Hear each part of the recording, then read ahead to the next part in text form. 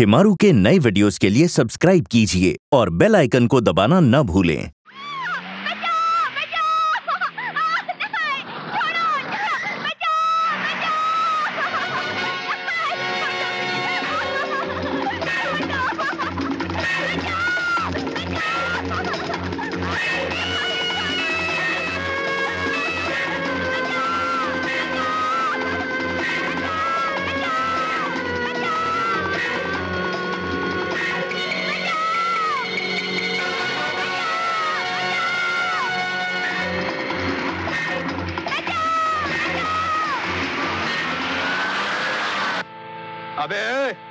रास्ते से हट।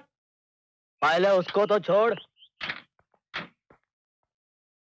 तेरी क्या लगती है रे? बताऊँ? बता। चलो बता ही देते हैं।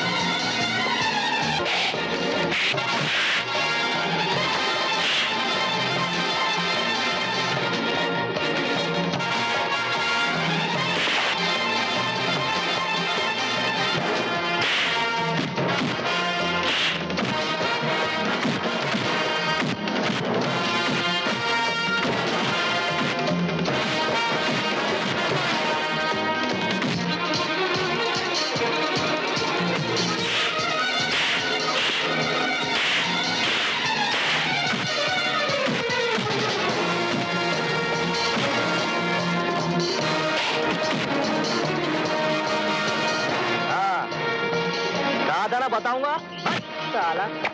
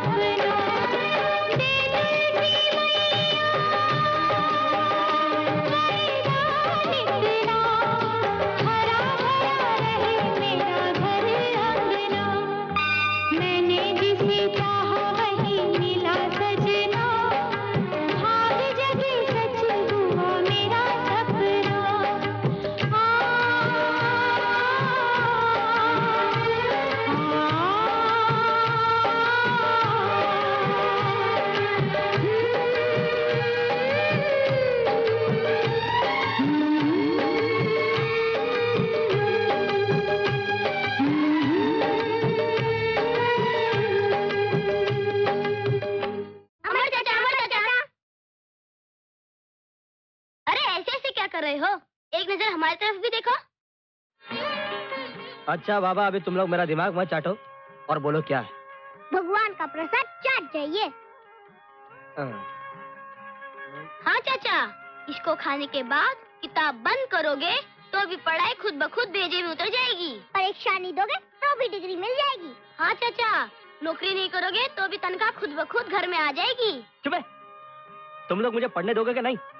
मेरा एग्ज़ाम सर पर है भागो यहाँ से चलो। हाँ हाँ। पढ़ो लिखो हमारा आशीर्वाद तुम्हारे साथ है। मेरी माँ मेरे बाप भागो। भागो! माँ माँ माँ माँ प्रसाद लो।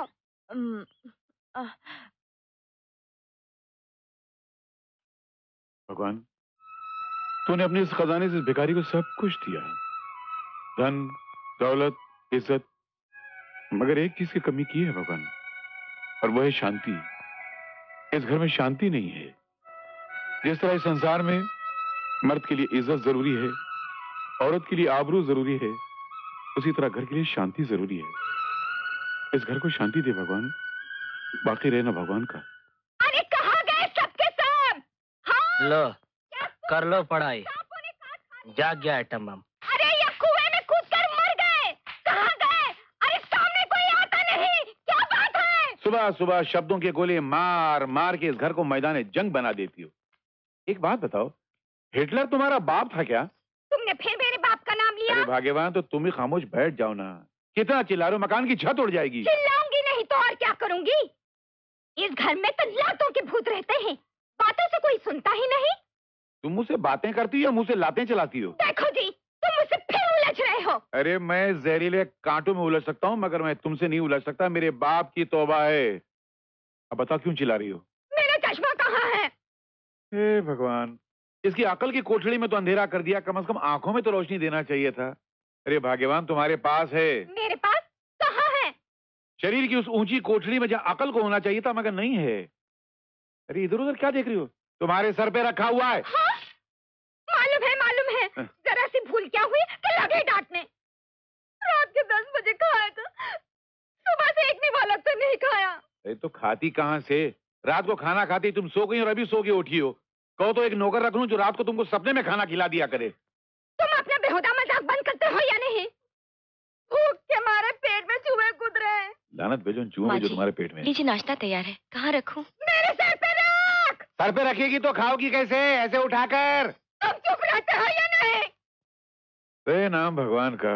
रात चल रहा है शैतान का। क्या कहा? नहीं मैं मैं तो भगवान को याद कर रहा था मैं तुमसे मेरा दिमाग खराब है जो तुमसे उलझूँगा। लानत भेजो।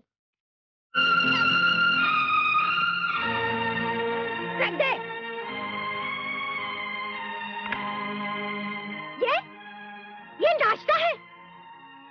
और ये कल मुही मेरा बादाम का दूध कहाँ है? वो क्या अपने बाप को पिलाने के लिए छुपा कर रखा है? नहीं माँ जी। माँ जी की बच्ची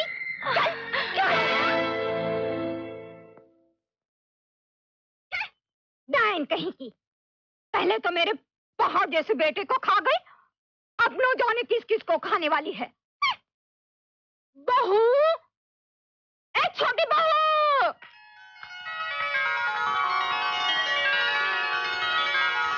जी माँ जी। बहू मैंने तुझे सूखे मेवे मंगवाने के लिए कहा था। क्या हुआ? वो मैंने अमर को लेने के लिए कहा था। अमर से? जी। अमर? अरे ओ अमर! क्या बात है भाभी? अरे ओ भाभी के पुजारी तेरी भाभी ने नहीं बुलाया था भाभो ने बुलाया था तेरी माँ ने। क्या बात है माँ?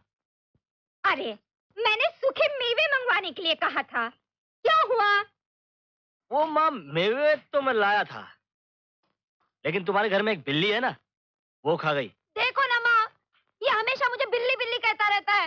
अगर ये ऐसे ही चिढ़ाते रहा तो मैं अपने ससुराल चली जाऊँगी हाँ। सच? हे भगवान तेरा लाख लाख शुक्र है। हम्म? उमा तुमने ज़िंदगी में पहली बार समझदारी की बात की है। आ, कब जा रही हो? गुड मॉर्निंग लो मुबारक। हो मुबारक हो भाई। हमारे प्यारे जीजा जी श्री लल्लू राम जी। उर्फ़ ललित प्रसाद। क्या सही मौके पे आए क्यों साले मियाँ? सब खैरियत है ना? कोई गड़बड़ तो नहीं है ना? नहीं खैरियत है नहीं मगर खैरियत की रोशनी नज़र आ रही है। अच्छा? वो भी अगर आपकी मर्ज़ी हो तो। वो कैसे? मेरी प्यारी बहन ने पहली बार ससुराल जाने का नाम लिया है। हाँ? और आप आ गए। क्या बात कर रहे हैं? सही बात कर रहा हूँ। नेक काम में देरी किस बात की? हाँ? Please please. हैं? चला गया? ज़रूर कोई लफड़ा होने वाला है। उमा! डार्लिंग उमा! उमा मैं तुम्हें लेने आया हूँ। चलो मेरे साथ। कभी दोबारा ले जाने की बात की तो मुझसे बुरा कोई नहीं होगा। मगर क्यों? अरे पहले माल कमा बंगला बना गाड़ी खरीद फिर मेरी लाडली को ले जाने की बात कर। वो तेरे सड़े हुए झोपड़े में नहीं रह सकती। अरे सड़ा हुआ तो क्या हुआ? तेरी मेहनत का झोपड़ा है। भाग यहाँ से। अरे आज मैं अकेला नहीं भागूँगा। आपकी बेटी को साथ भगा के ले जाऊँगा। अरे क्या माँ माँ करती है गाय की तरह? उमा मैं तुझसे एक बात पूछना चाहता हूँ।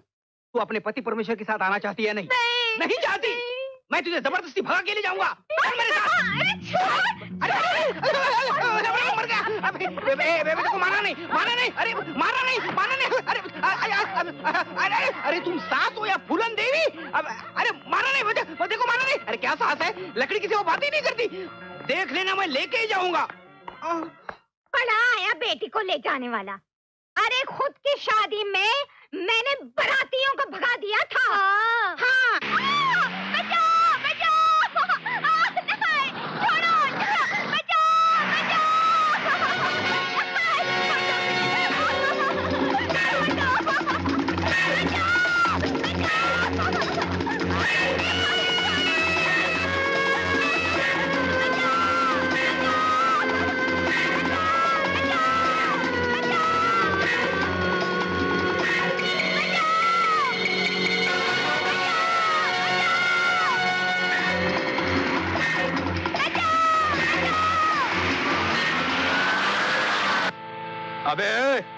रास्ते से हट। पहले उसको तो छोड़। तेरी क्या लगती है रे? बताऊँ? बता। चलो बता ही देते हैं।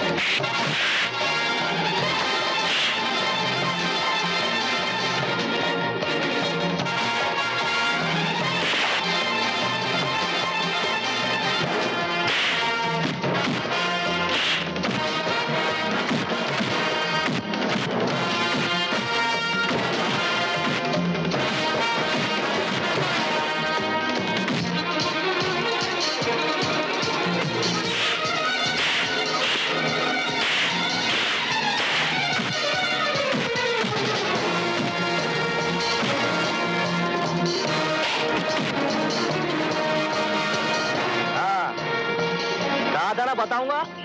साला।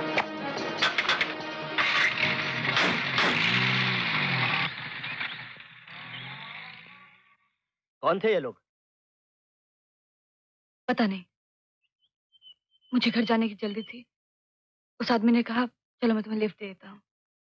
रास्ते में तीन चार गुंडे और बैठ गए और इसी तरह मुझे यहाँ ले आए। कमाल करती हैं आप भी। इस तरह से कोई अनजान आदमी अगर लिफ्ट दे दे तो क्या उसकी गाड़ी में बैठ जाना चाहिए? मुझे क्या मालूम था? उसकी नीयत में खोट है। भगवान ने इंसान को दो तरह की आँखें दी हैं। एक शक्ल पर और दूसरी अक्ल पर। कभी कभी अपनी अक्ल की आँखों का भी इस्तेमाल कर लिया करो। दोबारा धोखा नहीं खाओगी। चलिए मैं आपको घर छोड़ देता हूँ। अरे? रुक क्यों गई? अकल की आँखों से देखिए क्या मैं गुंडा लगता हूँ? ऐसा तो नहीं कहा मैंने। आप नहीं कह रही मगर आपके चेहरे का उड़ा हुआ रंग कह रहा है। चलिए।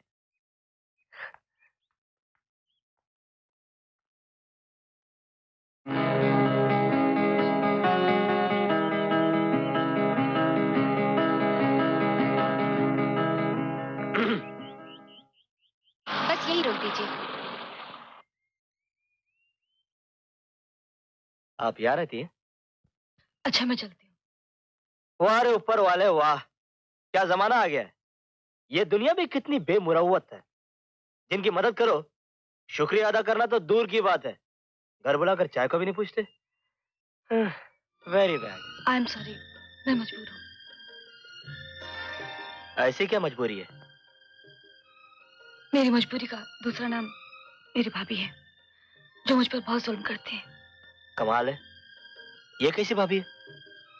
भाभी तो माँ का दूसरा रूप होती है। मेरी भी एक भाभी है लेकिन वो तो मुझे माँ से भी ज़्यादा प्यार करती है। आप बहुत खुश नसीब है जो आपको ऐसी भाभी मिली। अच्छा तो चलो मेरे साथ। कहा? मेरे घर। मैं तुम्हें अपने भाभी के हाथों की बनाई हुई गर्मा गर्म चाय पिलाऊँगा। अब ना। अरे नहीं नहीं। अगर मेरी भाभी को पता चला कि मैं तुम्हारे साथ गई हूँ तो मुझे घर से निकाल देगी। तो क्या हुआ? अगर तुम इस घर से निकाली जाओगी तो मैं तुम्हें अपने घर ले जाऊँगा। अच्छा इतनी जल्दी? इतनी हमदर्दी हो गई मुझसे। अरे भाई हम तो चलते फिरते हमदर्द दवा खाना है। जब भी किसी को दर्द में कराहते देखा हमदर्द बनकर उसके दर्द का इलाज करना बैठ गए। तुम्हारी हँसी कितनी खूबसूरत है। क्यों?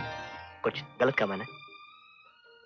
वो तो नहीं मालूम मुझे लेकिन आप डायलॉग बहुत अच्छा बोल लेते हैं। अरे भाई जब सामने कैमरा हो तो डायलॉग मारना ही पड़ता है।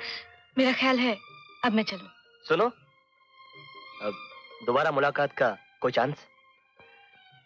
चांस तो है मगर कब कहाँ किस वक्त पता नहीं। वो अरे। आइए महारानी जी आइए। बहुत जल्दी लौट आई कॉलेज से। रात गुजर जाने देती। कल सुबह तशरीफ़ ले आती। भाभी आज घर लौटते समय मुझे कुछ बदमाशों ने घेर लिया था। अच्छा बदमाशों ने घेर लिया था। मैं सच कह रही हूँ भाभी। खामोश बढ़िया ही सच बोलने वाली। लड़कों ने तुझे घेर लिया था या लड़कों का घेरा देखकर तू खुद उसमें घुस गई थी। भाभी। अरे हाथ भर की लौंडिया मुझे आँखें दिखाती है। उंगलियाँ दीदों में घुसेड़ कर अंगूर के दानों की तरह आँखें निकालूँगी। एक तो बदमाशी की चाल चलती है ऊपर से तेरी मेरी आँखें दिखाती है। आने दे आज तेरे भैया को। अरे आने दे क्या? मतलब आ गया? मैं आ गया? देखो जी तुम अपनी छिचोरी हरकतों से बाज आ जाओ नहीं तो अच्छा नहीं होगा। मैंने क्या हरकत की पहलवान? क्या? आ, मेरा मतलब है भगवान। तुमने कहा क्या आने दे तेरे भैया को तो इसका भैया ऑफ़िस से यहाँ एक सेकंड में उड़ता हुआ आ गया। अब कहो क्या हुक्म है? मुझसे क्या पूछते हो? पूछो अपनी लाडली बहन से। ये ये कॉलेज से आने का वक्त है। मैं दो घंटे से उसके इंतज़ार में टहल रही हूँ। अरे हाँ तुम तो टहल टहल कर एकदम आधी हो गई हो। क्या कहा? अब मेरा मतलब अच्छा उसकी ये हिम्मत? हाँ और जब मैंने पूछा तो ऊपर से आँखें दिखाती है। आँखें दिखाती है? हाँ? किसकी आँखें? अरे खुद की आँखें। अच्छा उसकी ये हिम्मत एक तो गलती करती है ऊपर से खुद की आँखें दिखाती है उसकी ये हिम्मत। तुम ये हिम्मत ये हिम्मत कहते रहोगे? और ये एक दिन हमारे मुँह पे काले पोत के बिरादरी में नक कटा के उड़ जाएगी। उसकी ये हिम्मत? हम्म?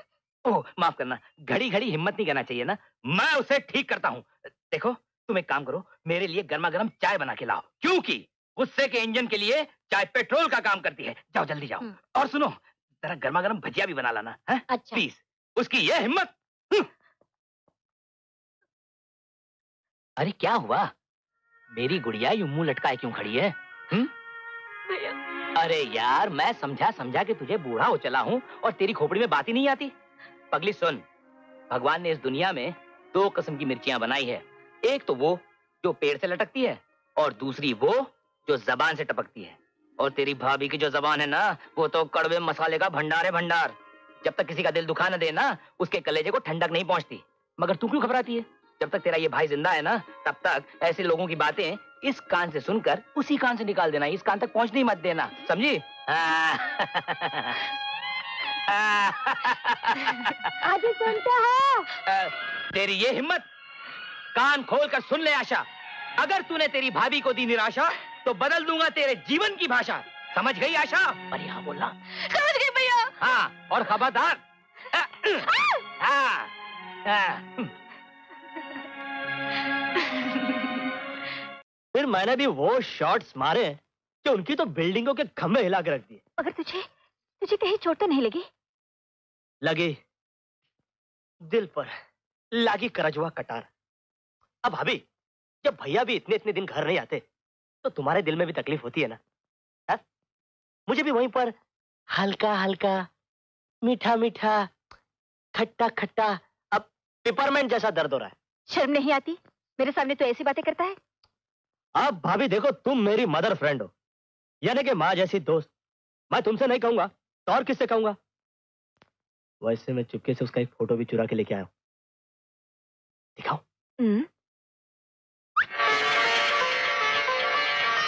कैसे लगी? माँ जी को दिखा दो। ना बाबा ना मरना है क्या? बल्कि मैं कहता हूँ जब तक ये मामला जम ना जाए तुम भैया से भी कुछ मत कहना। मत कहना। हाँ जब तक मैं लड़की देखकर हाँ ना कह दूँ तब तक तो मामला आगे नहीं बढ़ाना। अ, लेकिन भाभी अब क्या है? मुझको तो लगता है कि मामला आगे बढ़ चुका है। एक मुलाकात में हाँ कंप्यूटर का जमाना है ना। भाभी वो जमाना गया जब लोग दिल पे हाथ रख के बरसों इंतज़ार किया करते थे। वो घासलेट का जमाना था।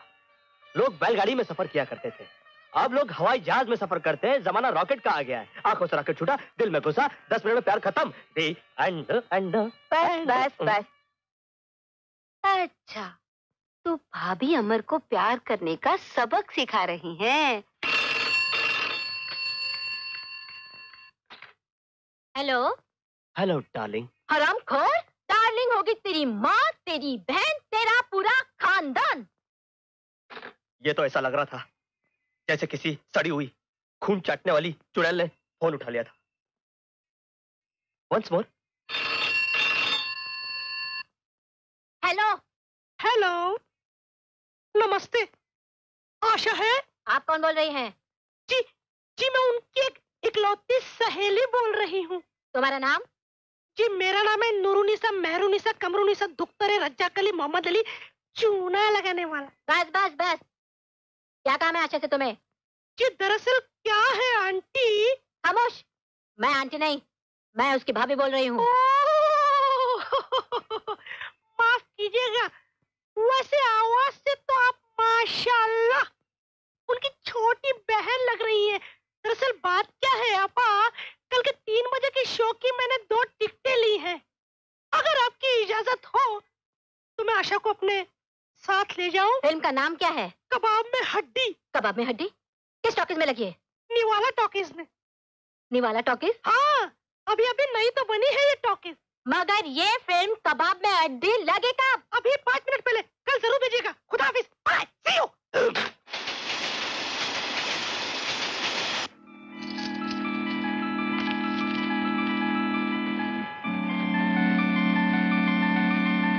माफ़ कीजिए। आप राम बाबू है ना? क्या? मगर आप? मैं डॉक्टर शर्मा की बेटी दीपा हूँ। माफ़ कीजिएगा मैंने आपको पहचाना नहीं। जी कोई बात नहीं। लोग बरसों में अपने आप को भूल जाते हैं। मैं तो फिर भी गैर हूँ। क्षमा कीजिएगा दीपा जी। आपके पिताजी ने आपकी तस्वीर माँ को भेजी थी। लेकिन मैं शादी के लिए हाँ ना कर सका। वो इसलिए कि मैं मैं किसी और से प्रेम करता था। इसमें माफ़ी मांगने की क्या बात है? शादी ब्याह तो मुकद्दर से होते हैं। जोड़े तो ऊपर ही बन जाते हैं। सिर्फ़ फेरे इस दुनिया में होते हैं। कैसी है आपकी पत्नी? बहुत अच्छी। मेरा तो जीवन खुशियों से भर दिया उसने। दो दिन दूर रहूँ तो रहा नहीं जाता। उड़कर पहुँच जाने को मन करता है। अच्छा। वैसे मैंने सुना था कि आपकी सगाई किसी पायलट से हुई थी? जी। मगर शादी से पहले ही प्लेन क्रैश में उनकी डेथ हो गई। ओह आई एम सॉरी फिर आप फिर क्या? ये सदमा पिताजी भी सह ना सके। वो भी गुजर गए। और फिर शादी से मेरा भी दिल उठ गया। घर बसाने का या किसी की पत्नी बनने का इरादा ही छोड़ दिया। अब आप क्या कर रही हैं? डॉक्टरी कर रही हूँ। लोगों की सेवा करके सुख बटोरती हूँ। बॉम्बे में प्रैक्टिस करने का इरादा है। बस वही रहूँगी। अच्छा बॉम्बे में? वेरी गुड चलो अच्छा है। हमारे शहर में मेहमान बनकर आ रही हो। कुछ माफ़ी मांगने का कुछ सेवा करने का मौका मिलेगा। मैं अपना कार्ड देता हूँ आपको। ये है मेरा घर का address. Thank you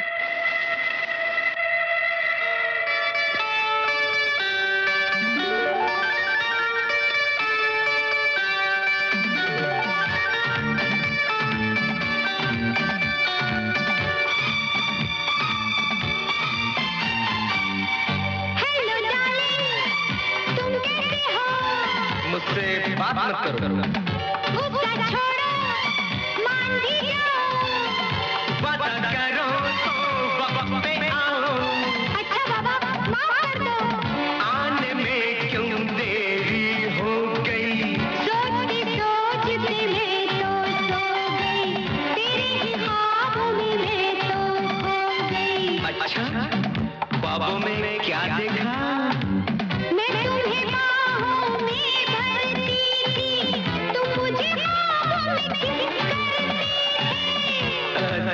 करती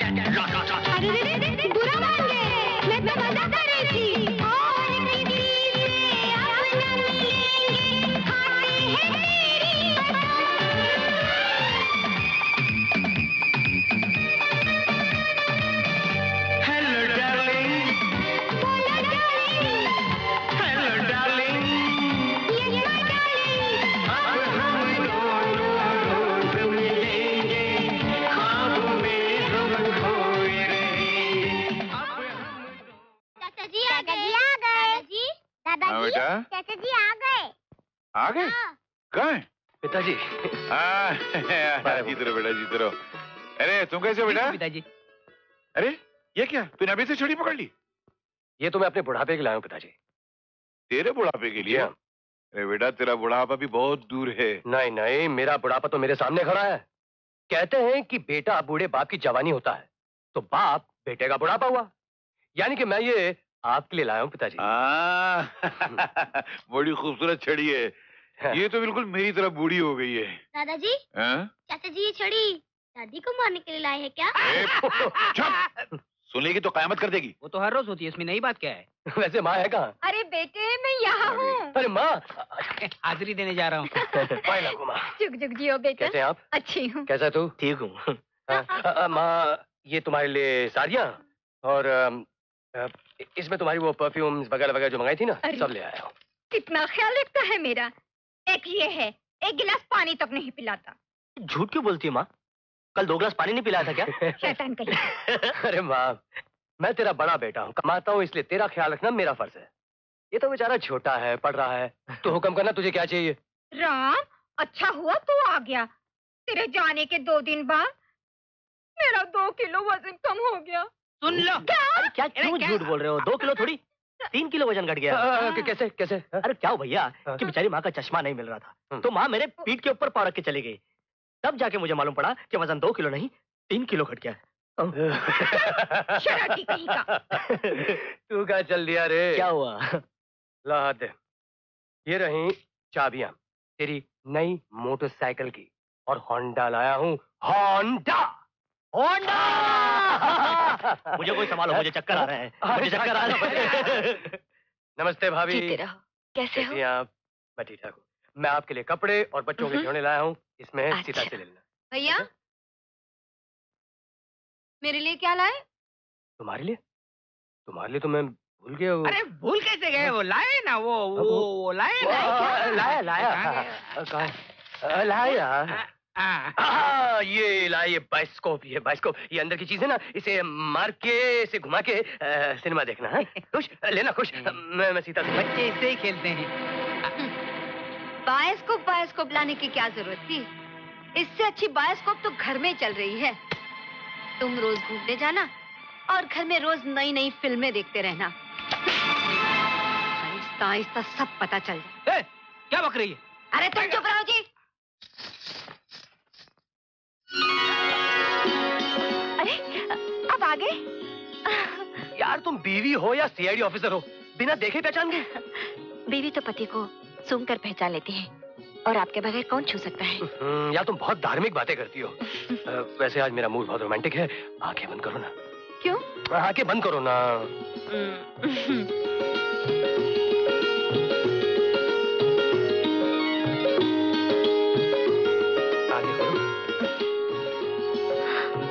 अरे बहुत खूबसूरत है। है ना? लेकिन इतना कीमती हाथ क्यों खूब ख्याल रखा जा रहा है सबका। किसी को हार किसी को मोटरसाइकिल किसी को छड़ी। हम्म, और एक हम है कि हमें कोई पूछने वाला ही नहीं। हाँ भाई पराई जो हो गई हूँ। अरे पगली तुझे क्या चाहिए? मुझे ये हार चाहिए। हम्म? ये ले लो। अरे नहीं सीता ये, ये क्या करे तुम? उमा मैं तुम्हारे लिए दूसरा हार ले आऊँगा। अरे ये तो मंगलसूत्र की तरह मैं तुम्हारे लिए लाया हूँ। अरे तू मेरे साथ ससुराल चल। ऐसे दस दस हार बनवा दूँगा। फिर तुम? देखो जी हम्म, मेरे मुँह मत लगो। अच्छा नहीं होगा। ये कौन सी नई बात कही? कौन सी नई बात कही? तेरे साथ रह के कभी अच्छा हुआ जो अब तेरे मुँह लग के होगा? अब चुप भी करो। देखा? ये ऐसा है। मैं जरा इसका स्क्रू टाइट करके आता हूँ। पहले स्क्रू है या नहीं देखता हूँ? ये हार बुमा को दे देते तो क्या होता? तो आपकी बहन है। अरे बहन है तो क्या हुआ? शादीशुदा है को बच्ची थोड़ी है। कौन सी चीज़ मांगनी चाहिए कौन सी नहीं? इतनी अकल तो होनी चाहिए उसे। और उस जात को इतना सलीका होना बहुत ज़रूरी है। मे आई कम इन यस अरे दीपा जी आप आप और आपकी यहाँ बहनोई ने बताया कि आप यहाँ हैं। खैरियत तो है अचानक। अभी तो आपके साथ मैं ट्रेन में सफ़र करके आ रहा हूँ। जी हाँ सफ़र तो करके आ रहे हैं लेकिन आपने मुझे कुछ ज़्यादा सफ़र करा दिया। जी मतलब? मतलब ये कि आप मेरा सूट किस ले आए और अपना छोड़ आए। आई एम सॉरी ये हो गया ये। बस हो गया? आइए, अंदर आइए। ये शायद आपकी पत्नी है। नमस्ते। नमस्ते। मेरा नाम डॉक्टर दीपा है। मेरा नाम सीता है। बहुत सही नाम है। एक तो राम जी की पत्नी के हिसाब से दूसरी नज़र ना लगे। आप बहुत खूबसूरत हैं। और तीसरी जिस तरह आपने राम जी को अपने प्यार की जंजीरों में जकड़ रखा है उसके हिसाब से।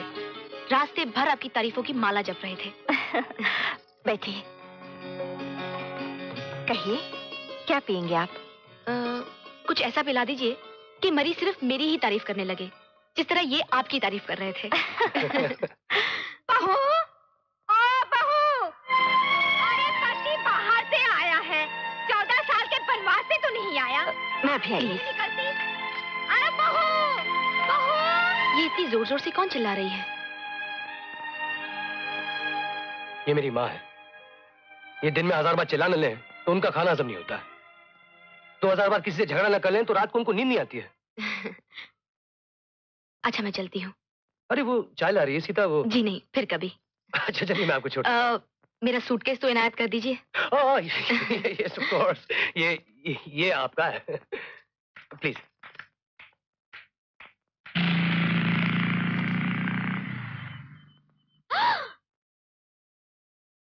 सुनो। हम्म, एक पप्पी दो ना। तुझे पता है आज दिन कौन सा है? आज बुधवार है। अरे बुधवार की चाची आज तेरा जन्मवार है। अ, मेरा मतलब है जन्मदिन है। अच्छा? हैप्पी बर्थडे टू यू ये पैकेट ये सब क्या है भैया? जरा हटना। हम्म।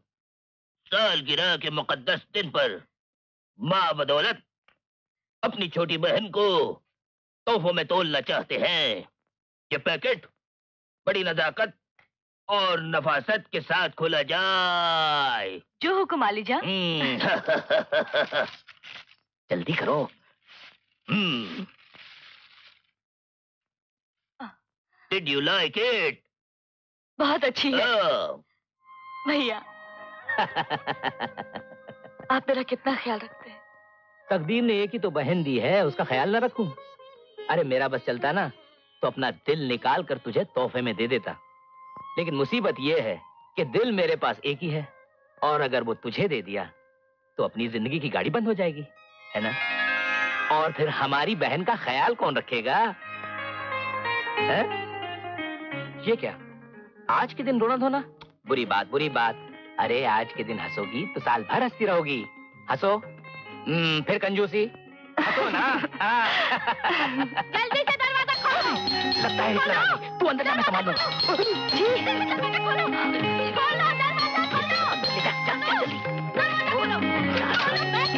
अरे आया भगवान आया कहाँ है वो कहाँ है वो तुम्हारी लाडली बहन अरे यार क्या तुमने करेले के पेट से जन्म लिया था आते ही हमला शुरू कर दिया क्या अ, नहीं नहीं मेरा मतलब है जरा घर के अंदर आ जाओ दो चार साँसें ले लो फिर बात करो सांस ले लो हाँ तुम्हें असलियत का पता चल जाएगा तो तुम्हारी सांस बंद हो जाएगी। अब क्या हुआ? क्या हुआ? ये पूछो क्या नहीं हुआ? अच्छा क्या नहीं हुआ? मैंने अपनी आँखों से देखा है वो एक गुंडे के साथ मोटरसाइकिल पर चिपक के बैठी थी। अच्छा उसकी ये हिम्मत? तुम हिम्मत हिम्मत कहते रह जाओगे और वो किसी लुच्चे लफंगे के साथ एक दिन फुर हो जाएगी और बिरादरी में हमारी नाक कट जाएगी। नहीं कटेगी नहीं कटेगी हम हम लोहे की नाक लगवा लेंगे। तुमने फिर मज़ाक किया? मज़ाक? कैसा मज़ाक? मैं तो गुस्से से लाल हो रहा हूँ। मैं सोच रहा हूँ। हाँ उसकी ये हिम्मत ठीक है। कल मैं उसे नहीं छोड़ूँगा। कल क्यों? आज क्यों नहीं? आज उसका जन्मदिन है। उसका जन्मदिन है लेकिन हमारी इज़्ज़त का मरण दिन है। मैं कहती हूँ अभी जाकर उसकी खबर लो। माया तुमने तो हमेशा मुझे समझदारी की बातें सुनाई हैं और आज तुम ही नासमझी की बातें कर रही हो। समझदारी की बात? तुम्ही से तो मैंने इंसानियत का सबक सीखा है। है? तुम्ही ने तो कहा था कि जब किसी की खुशी का दिन हो या जन्मदिन हो तो उसकी सारी गलतियाँ माफ़ कर देनी चाहिए।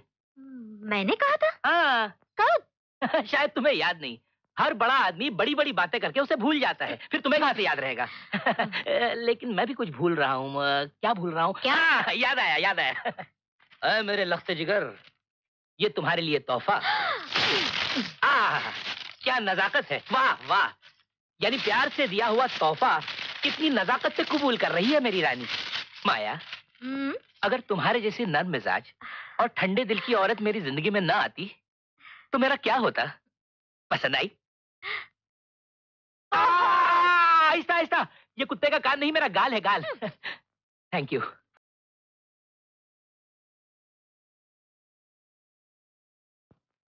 दोनों बचा बच चॉकलेट खा रहे हैं। इसमें कोई ज़रूर गहरी चाल है। माँ माँ। अच्छा तो ये बात है। अरे मैं तो उनका खून पी जाऊँ। चलो उन पिल्लों को जलकर पूछें कि मेरी इजाज़त के बगैर उनको चॉकलेट किसने दी? चल माँ चल चल ऐसी धुलाई करके उनको याद रहे। वो देख माँ छुप के बैठे हैं। केतन कांता। इधर आओ।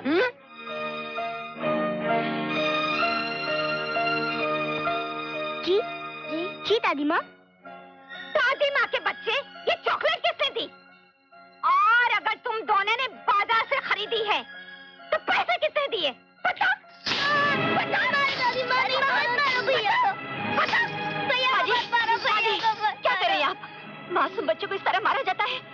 आपके पोता पोती हैं कोई जानवर तो नहीं है। इन हराम खोरों ने मेरे कलेजे को छन्नी की है। सबसे पूछ रही ये चॉकलेट कहाँ से आई है? जवाब ही नहीं दे रहे और जब तक ये जवाब नहीं देते मेरे हाथ रुकने वाले नहीं।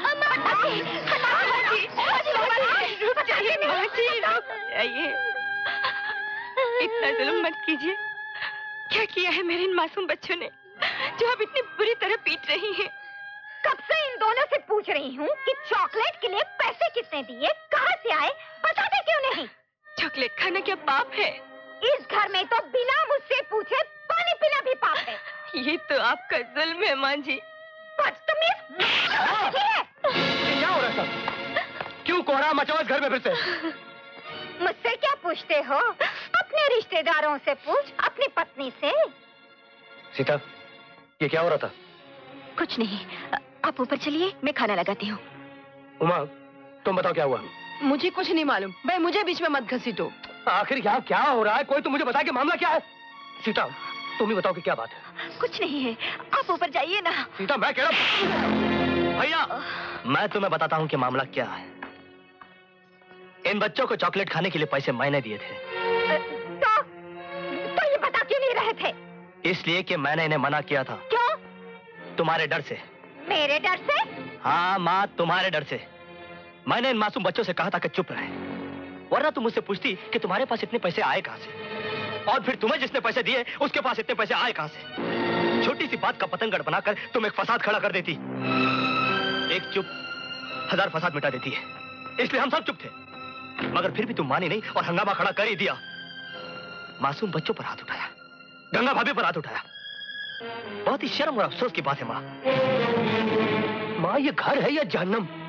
जब भी थका मांदा आता हूँ तो कोई झगड़ा फसाद ताने तिशने के सिवाय कुछ नहीं सुनाई देता। मैं अभी कहता हूँ अपने तरीके बदलो। अपनी जबान पे काबू रखो। वरना एक दिन तुम्हारे शब्दों की चिंगारियों से घर जलकर राख हो जाएगा।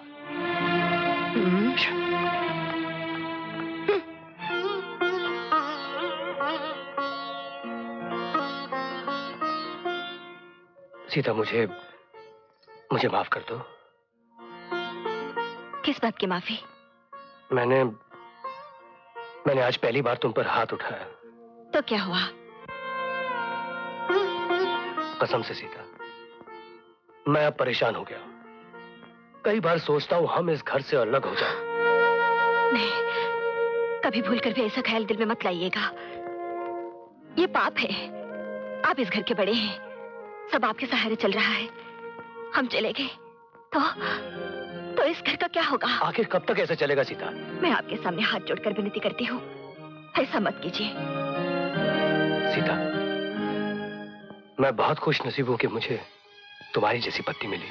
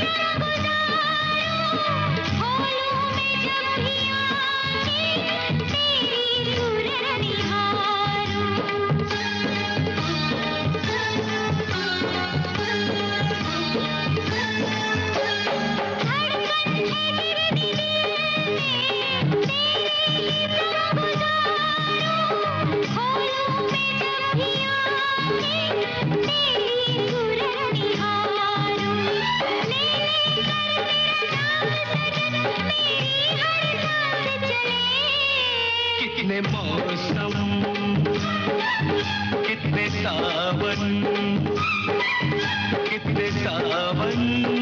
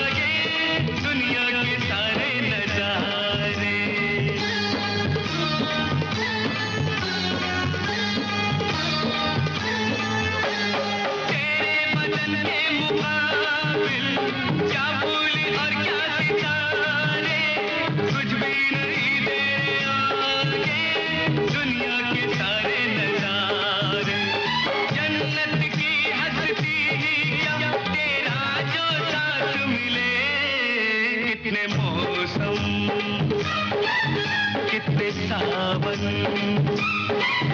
कितने सावन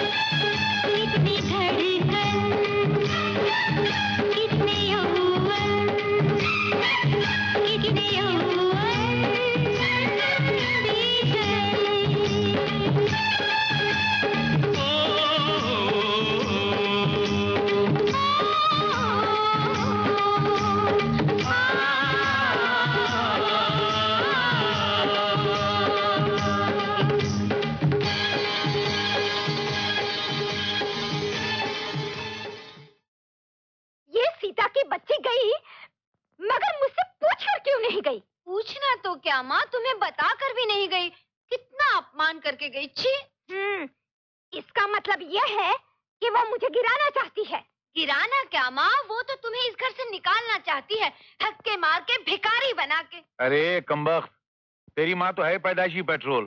तू क्यों तीलियाँ जला जला के उस पर फेंक रही है? वो अपने पति के साथ घूमने गई तो तुम दोनों की नाल में क्यों कील चुभ रही है? और इस उम्र में नहीं जाएगी तो क्या हमारी उम्र में जाएगी? तुम चुप रहो जी। अरे मैं तो पैदाइशी चुप हूँ। तुम उसकी वकालत मत करो। ये मेरी नाल में नहीं खोपड़ी में छुप रही है। वो लड़की अपनी सैंडल की एड़ी से मेरे सर में किल ठोक रही है। खबरदार अगर बीच में बोले तो जरा भी आवाज़ निकाली तो हाँ। सुनो। रहे नाम भगवान का? हाँ। और मुँह कलाओ शैतान का। क्या औरत है तो बात बात। क्योंकि मेरे भाभी को सब कुछ पता चल गया है। और वो मेरी शादी कहीं ना कहीं करने पर बुरी तरह से तुली हुई है। अरे नहीं आशा। ऐसा मत करना। वरना अमर तो मर जाएगा। कैसी बातें करते हो? मैं वहाँ बात तक नहीं कर सकती। अगर शादी के लिए इनकार करूँगी तो सूली पर ही टांग दी जाऊँगी। एक काम क्यों नहीं करते? अपने घर वालों को बोलकर शादी की बात करने के लिए भेज दो ना। नहीं आशा। मैं अपने घर वालों से बात तो नहीं कर सकता। हाँ मैं तुम्हें अपनी भाभी से मिलवा सकता हूँ। भाभी? भाभी? भाभी गजब हो गया। क्या हुआ? वो आशा की भाभी उसकी शादी ज़बरदस्ती कहीं और करना चाहती है। अच्छा ये तो गड़बड़ हो गई। फिर तुम्हारे क्या होगा? मेरा कबाड़ा हो जाएगा। कुछ करो भाभी कुछ करो। मैं क्या करूँ? जाकर माँ जी से बात करो। माजी से बात करूँ? ना बाबा ना। भाभी तुम्हें ही कुछ ना कुछ करना होगा। बस एक बार आशा से मिल लो प्लीज़। उमा ये क्या चोरी छुपे देख रही है? मुझसे क्या पूछते हो? तुम ही झाँक के देख लो।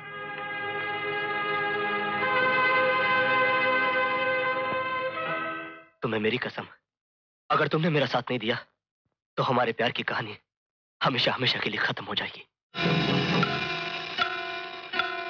अगर तुम वाकई मुझे चाहती हो मेरी ज़िंदगी और मेरे प्यार का तुम्हें जरा भी ख्याल है तो तुम वहाँ ज़रूर होगी मैं वहाँ आकर क्या करूँगी? वो सब मैं तुम्हें वहीं बताऊँगा वरना इस घर के तो दरवाजे खिड़की पर्दे सबके कान है। यहाँ तक के हवाओं के भी कान है। वहीं पर एकांत में बैठ के बात करेंगे। तुम्हारा प्लीज़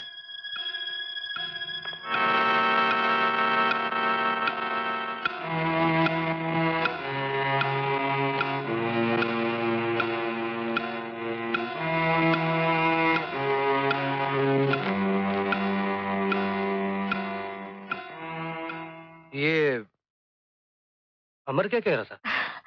पागल है। उठपटांग बकता रहता है। मेरे ख्याल से उसकी उम्र हो गई है। शादी कर देनी चाहिए। हम्म। वाकई कर देनी चाहिए। पर निकल आए उसके। इससे पहले कि वो बहुत ऊँचा उड़े शादी की कैंची से उसके पर कतर डालने चाहिए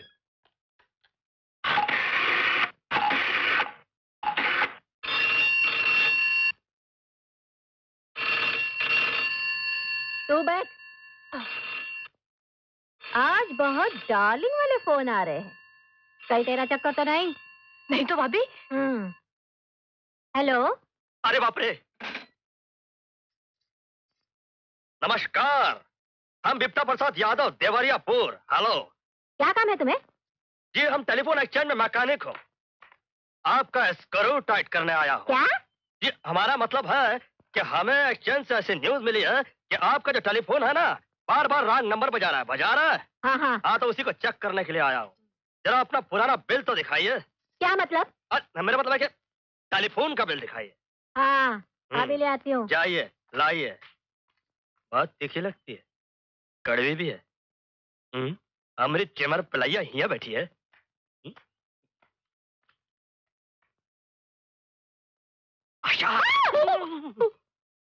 अमर हूँ अमर। हम्म, भाभी से बात हो गई। चिट्ठी में पढ़ लेना। टाइम और पता लिखा है अरे क्या आप लोग फ़ोन में तकलीफ़ देती है? कोई टेलीफोन वालीफोन खराब नहीं है टेंशन देती है तकलीफ़ देती है टेम खराब करती है मालूम है? ये रहा बिल। अरे काय का बिल? अपना बिल अपने पास रखिए। हमने अपना काम कर लिया। कर लिया? वो कैसे? हाँ वो क्या बात थी मैडम कि आपके टेलीफोन के लाइन के लाइन में ज़बरदस्ती का वायर घुस के करंट मारा था हमने उस वायर को बाहर निकाल के फेंक दिया और अपनी वायर फिट कर डाली। कोई समझे कि नहीं समझे? नहीं समझे ना? आपको समझना भी नहीं चाहिए। इन्हें समझना चाहिए? नहीं ना? प्रणाम। तू क्यों हंस रही है?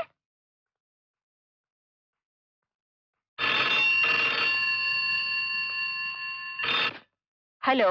हाँ भाभी मैं अमर बोल रहा हूँ। हाँ अमर बोलो। भाभी बहुत देर हो गई है। मैं घर नहीं आ सकता। तुम नेशनल पार्क आ जाओ ना।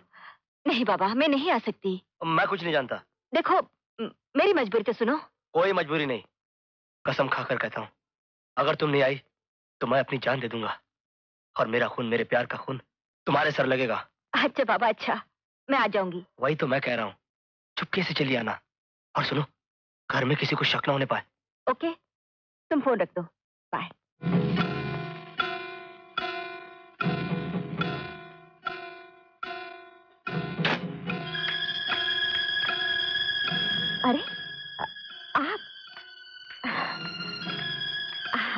आ- आप इतनी जल्दी? क्यों?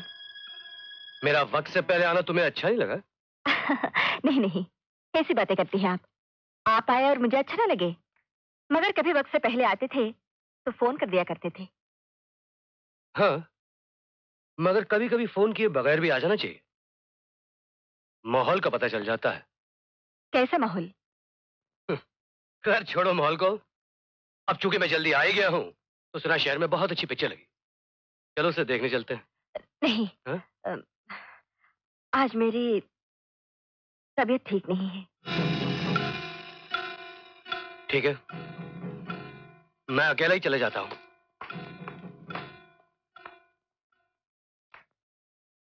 आशा बन ठन के लहराते हुए कहा जा रही है महारानी? मैं लाइब्रेरी जा यही है ना तेरी लाइब्रेरी हाँ? जवाब दे। क्यों? साफ़ सुन गया या दम उखड़ गया? आज पता चला कि कॉलेज और लाइब्रेरी के नाम पर तू क्या गुल खिला रही है। बेशरम, बेहया, चुड़ैल चल चल अंदर चल जा अपने कमरे में। मैं नहीं जाऊँगी। तो अंदर जाती है कि नहीं? नहीं। क्या? जवाब देती है? अक्कल दिखाती है? बेशरम, जवाब चला।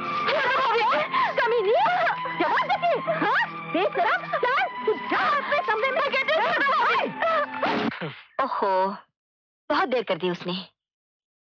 मुझे नहीं लगता कि अब वो आएगी। हम्म, ऐसी अशुभ बातें मत करो। तुम्हारी हिम्मत के सहारे ही तो मैं अपनी प्यार की गाड़ी को आगे बढ़ा रहा हूँ। और अगर तुम भी ऐसा दिल तोड़ने वाली बातें करोगी तो मेरी तो खटिया ही खड़ी हो जाएगी ना। अरे पागल अक्ल है क्या तुझे? तेरे भैया घर आए थे और मुझे सिनेमा ले जाने की जिद कर रहे थे। उन्हें टाल कर आई हूँ। भाभी भैया का ख्याल तो रोज ही रखती हो। कभी कभी अपने बेटे का भी ख्याल रखा करो। नहीं। ख्याल है। इसलिए तो मैं उनसे बिना बोले चली आई हूँ। अरे मेरी भाभी कितनी स्वीट हो तुम। अभी पाँच बज गए। वो बेचारी ज़रूर घर में फंस गई होगी। इसीलिए नहीं आ पाई। लेकिन भाभी भाभी उसे कुछ भी करके आना चाहिए था। अब देखो ना मैंने तुम्हें बुला लिया और वो गायब। चलो ना। चलो।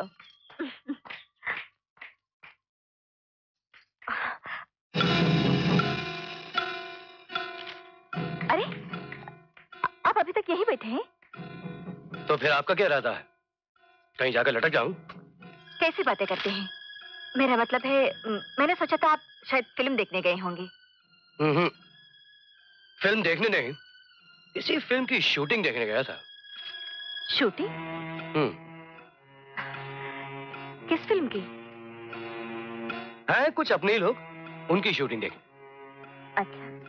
मालूम है मैंने वहाँ क्या देखा? क्या देखा? रोमांटिक सीन चल रहा था हीरोइन हीरो में। वैसे अगर उस हीरोइन को देखो तो घर में बिल्कुल सीधी सादी सीता जैसी शरीफ। मगर वहाँ अपने हीरो के साथ ऐसे गुलछर्रे उड़ा रही थी। कमाल है। वैसे तुम कहाँ थी? मैं अ, मैं किचन में थी। अच्छा अच्छा। किचन में थी। एक बात बताओ सीता। क्या तुम मुझसे प्यार करती हो? क्यों? अ, आपको मेरे प्यार पे शक है? नहीं। सुना है समुंदर की गहराई को नापना आसान है। मगर औरत के दिल की गहराई को नापना मुश्किल है। इसलिए जिसने भी कहा गलत कहा। औरत के दिल की गहराई को नापना बहुत आसान है। मगर उसके लिए आँखें चाहिए, और वो आँखें सिर्फ़ प्यार करने वालों के पास ही होती है। खैर, मैं आपके लिए चाय लेकर आती हूँ। आशा, ये सब क्या है? किसकी चिट्ठी है ये? एक बहन, तेरे लिए मैं अपनी जान दे सकता हूँ। लेकिन अगर किसी ने मेरी बहन को गुमराह करने की कोशिश की तो उसकी जान ले लूँगा मैं। क्या है ये सब? नहीं बहन मैं जानता हूँ तू कोई गलत कदम नहीं उठाएगी। अच्छा तू ही बता कौन है वो जिसे तू चाहती है? बता। अरे बोल ना। मेरे साथ कॉलेज में पढ़ता है। हम्म कॉलेज में पढ़ता है। माँ बाप कौन है? खानदान कैसा है? ये तो मैं नहीं जानती लेकिन उनके पिताजी का नाम सेठ धनराज है। क्या? सेठ धनराज का लड़का और मेरी मेरी बहन की पसंद। अरे मेरे तो भागे ही खुल गए। जीती रहे बहना जीती रहे हज़ार साल जी। नहीं हज़ार साल बहुत होते हैं। तू बहुत बुरी लगेगी। अरे बहना तूने तो ऐसा जीवन साथी चुना है जो तेरा भाई दस जन्म लेकर भी तेरे लिए नहीं ढूंढ सकता था। अजी सुनते हो? लो आ गई आफत की पुड़िया। मैं कुछ नहीं सुनना चाहता। तेरी ये हिम्मत किससे पूछकर तूने प्यार किया? तुझे पता नहीं? हमारे खानदान में प्यार करना पाप है। मेरी शादी को इतने साल हो गए फिर भी आज तक मैंने अपनी पत्नी से प्यार नहीं किया। फिर तू प्यार कैसे कर सकती है? समझी? अरे बोलना कुछ। मुझे माफ़ कर दो भैया ऐसा मैं कभी नहीं करूँगी माफ़ कर माफ़? अरे मैं तेरी तबीयत साफ़ कर दूँगा लेकिन तुझे माफ़ नहीं करूँगा। तूने मेरी नाक कटवा दी अपनी भाभी का मुँह हमेशा के लिए काला करवा दिया। अब वो अपना काला भयानक मुँह लेकर बाहर कैसे जाएगी? खबरदार जो आज के बाद इस कमरे के बाहर कदम रखा तो तेरी टांगे कटवा के खटिया में फिट करवा दूँगा मैं। हाँ अरे अपने आप को समझती क्या है? हिला के रख दिया मैंने उसे। हम्म, उसकी ये हिम्मत। हिम्मत विम्मत गई भाड़ में। अब इसका फ़ौरन ठिकाना कर देना चाहिए। हाँ मैं आज ही जाकर किसी लड़के से उसकी बात फाइनल कर देता हूँ। तुम फाइनल वाइनल कुछ मत करो। तुम सिर्फ़ एक काम करो। जमुना दास जमके को ले आओ। जमुना दास जमके? हाँ। माँ माँ वो दोनों खुसुर फुसुर कर रही हैं। ज़रूर तेरे खिलाफ कोई चाल चल रही होंगी। अच्छा? हाँ। चल चल कर देखते हैं। हाँ जो भी काम होगा अब सब मैं कर लूँगी। हाँ तुम बस भगवान का ध्यान किया करो। और अच्छी अच्छी किताबें पढ़ा करो। हाँ? क्या खुसर फुसर चल रही है? क्या मेरे खिलाफ जहर उगला जा रहा है? नहीं माँ जी। मैं तो सीता को थोड़ी नसीहत दे रही थी। माँ को नसीहत करना नहीं आता क्या? मैं कोई गलत बात नहीं कर रही थी। सीता के पैर भारी हैं। देखा माँ छोटी भाभी ने ये बात पहले तुम्हें नहीं बताई। कितना गैर समझती है तुम्हें? क्यों री? ये बात तूने मुझे क्यों नहीं बताई? अरे ऐसी बात अपनी सासू माँ से थोड़ी ही छिपा कर रखते हैं। अरे उसे तो सबसे ज़्यादा खुशी होती है। अरे राम! अरे अमर! अरे तुम्हारा गला है किसी मिल का भूँगा है कभी थकता ही नहीं चिल्लाने से? कितना चिल्ला रहे हो सारी दीवारें हिलने लग गई हैं। क्यों चिल्ला रही हो? क्यों ना चिल्लाऊं? सीता के पाँव भारी हैं। मैं दादी माँ बनने वाली हूँ दादी माँ। सच? मतलब ये ये बूढ़ा दादा बनने वाला है? देखा ये है मेरी प्रार्थना का असर। जी बड़े आए प्रार्थना वाले। जाओ मंदिर में जाओ। ठीक है। रहे नाम भगवान का। बस आगे मत बोलना हाँ, पिताजी? मैं क्यों बोलूँ? सारी दुनिया बोलती है। रात चल रहा है शैतान का। अरे अमर! आया माँ आया माँ आया माँ। मेरा मतलब है अ, क्या बात है माँ? अरे अमर बाज़ार से जाकर दस किलो बादाम और दस किलो सूखे मेवे ले आ। किस खुशी में? अरे तेरे लाडली भाभी माँ बनने वाले हैं। माँ! अरे मुबारक हो मुबारक हो भाभी। हाँ हाँ भाभी दोनों में से एक उंगली पकड़। अरे पकड़ लो ना अरे पकड़ो ना। आ, लड़का होगा लड़का होगा और बिल्कुल मेरी तरह होगा।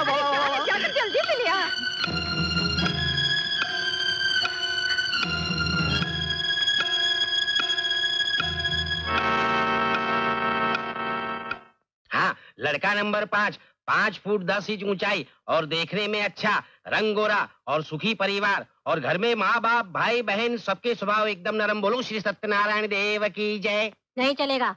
आगे बढ़ो। कोई बात नहीं। दूसरा देखिए। लड़का नंबर छह ऊँचा कद रंग गोरा देखने में बाका सजीला सुखी परिवार लेकिन ये घर आपको नहीं चलेगा। क्यों नहीं चलेगा? क्या बुराई क्या है? लड़का तो शराफत का फूल है लेकिन उसकी माँ नफरत का कांटा है। वो बोलती का मैं काटती ज़्यादा है। उसके मुँह से शहद नहीं हमेशा चिंगारियाँ निकलती है। आज तक जो भी लड़की उस घर में बहू बनकर गई वो अपनी सास की मेहरबानी से कुछ ही दिनों में भगवान को प्यारी हो गई। इसलिए तो कहता हूँ कि ये घराना आपकी बच्ची के लायक नहीं है। क्यों नहीं है? माँ से क्या लेना देना? लड़का तो अच्छा है ना? चलेगा। अरे क्या जुल्म करती है आप भी? नहीं नहीं आप जानबूझकर अपनी ननन को क्यों मौत के मुँह में ढकेल रही है? आप ऐसा नहीं कर सकती है। क्यों नहीं कर सकती? मैं ऐसा ही करूँगी। मैं अपनी ननन को उसी घर में दुल्हन बनाकर भेजूँगी। लेकिन मैं ये पाप नहीं कर सकता। आपको पाप से क्या लेना देना?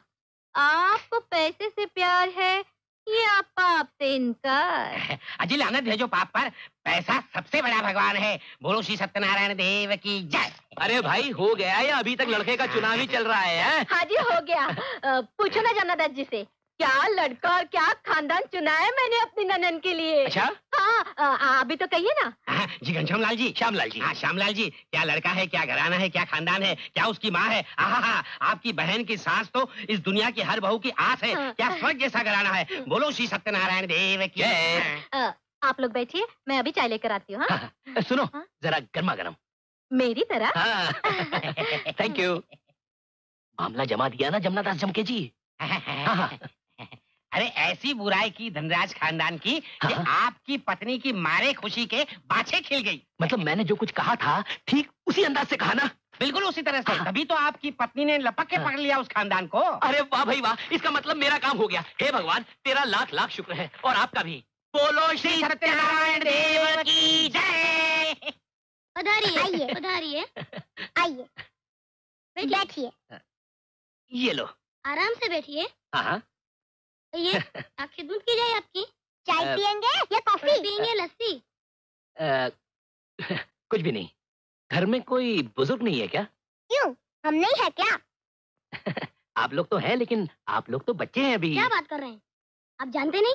Child is the father of the nation you see I want to talk to somebody older with your permission okay okay we grant your permission thank you लो अमर चाचा आ गए।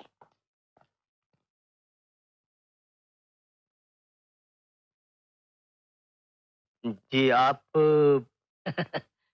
दरअसल मैं तुम्ही को देखने आया हूँ। मुझे? खैरियत तो है? खैरियत की बात तो मैं तुम्हारे पिताजी के साथ ही करूँगा। समझ गया।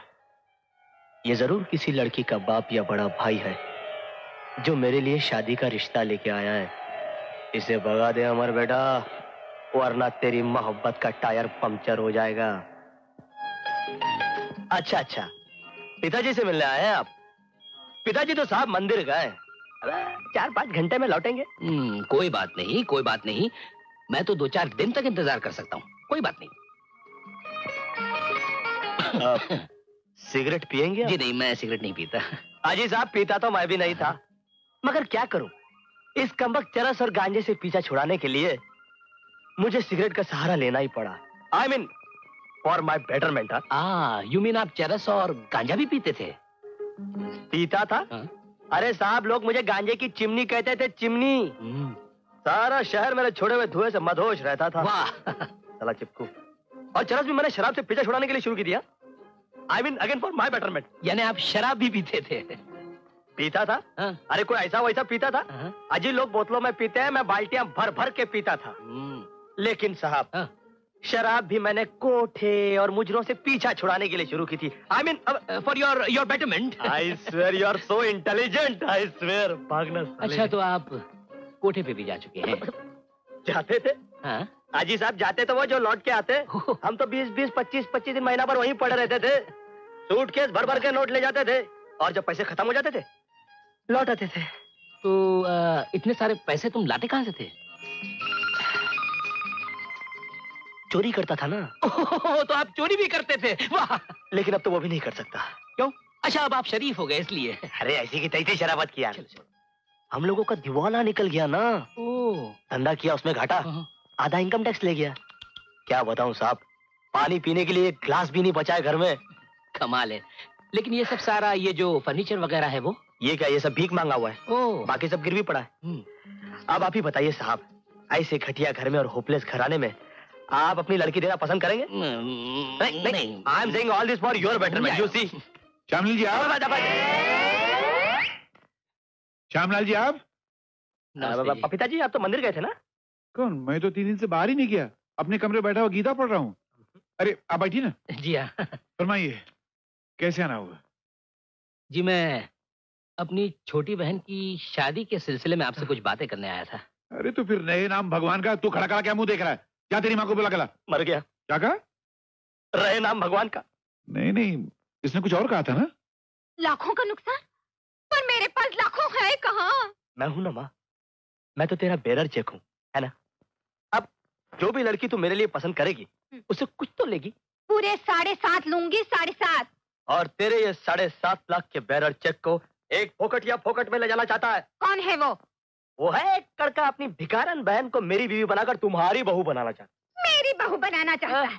अरे खून की नदी ना बहा दूँ मुझसे पूछे बगैर मेरे बेटे का रिश्ता कैसे कर सकता है? कैसे कर सकता है? अरे मैं भी तो वही कह रहा हूँ माँ। मैं तो कहता हूँ कि मार मार के गली के नुक्कड़ पे छोड़ियो मुझसे पूछे बगैर शादी की बात इस घर में कोई कैसे कर सकता है? आहिस्ते आहिस्ते आहिस्ते क्यों चिल्ला रही हो? पहले मुलाकात कर लो परिचय कर लो। आप श्यामलाल जी हैं शहर के बहुत बड़े कॉन्ट्रैक्टर हैं। इतने बड़े कॉन्ट्रैक्टर हैं। हाँ बहुत बड़े कॉन्ट्रैक्टर हैं लाखों का कारोबार है। अपनी छोटी बहन के लिए हमारे अमर का रिश्ता मांगने आए हैं। अच्छा अच्छा। पर मैंने तो कुछ और सुना था। खैर।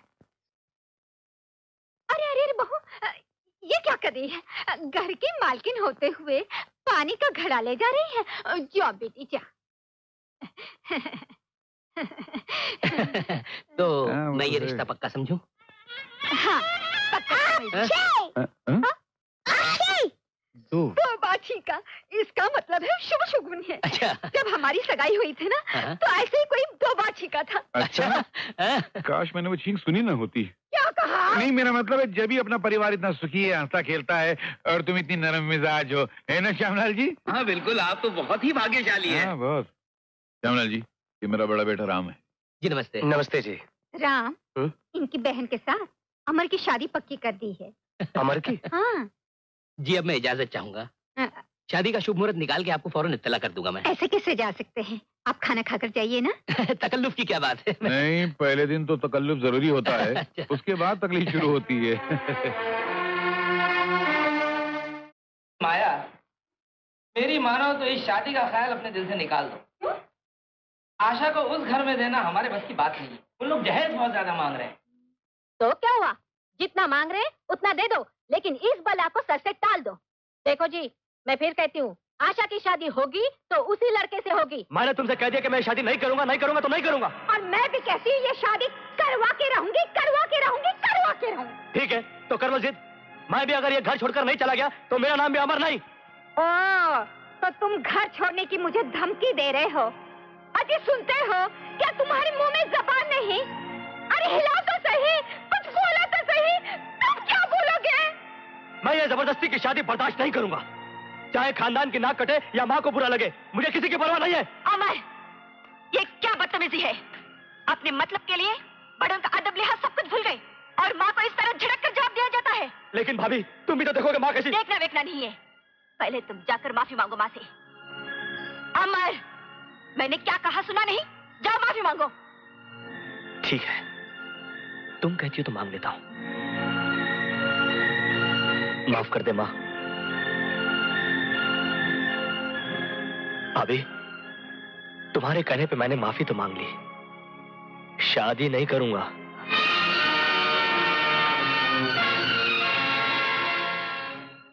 देखिए आप बुज़ुर्गों के बीच बोलना या अपनी राय देना। है तो बदतमीजी। लेकिन जब घर में आग लग रही हो तो बुझाना सबका फ़र्ज़ बन जाता है। मेरी राय थी, जब वो उस लड़की से शादी नहीं करना चाहता तो ज़बरदस्ती क्यों की जा रही है? अगर अगर ज़बरदस्ती ना की जाए तो तो बेहतर रहेगा।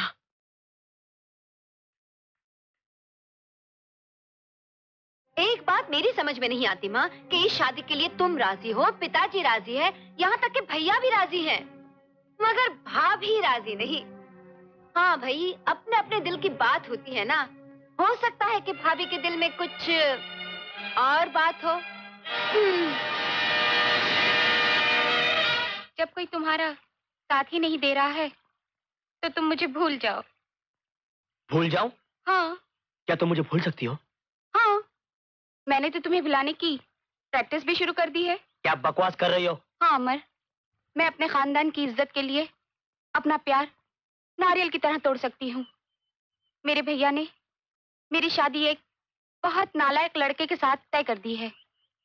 जो सिगरेट के कश ले लेकर उनके मुँह पर फूक रहा था।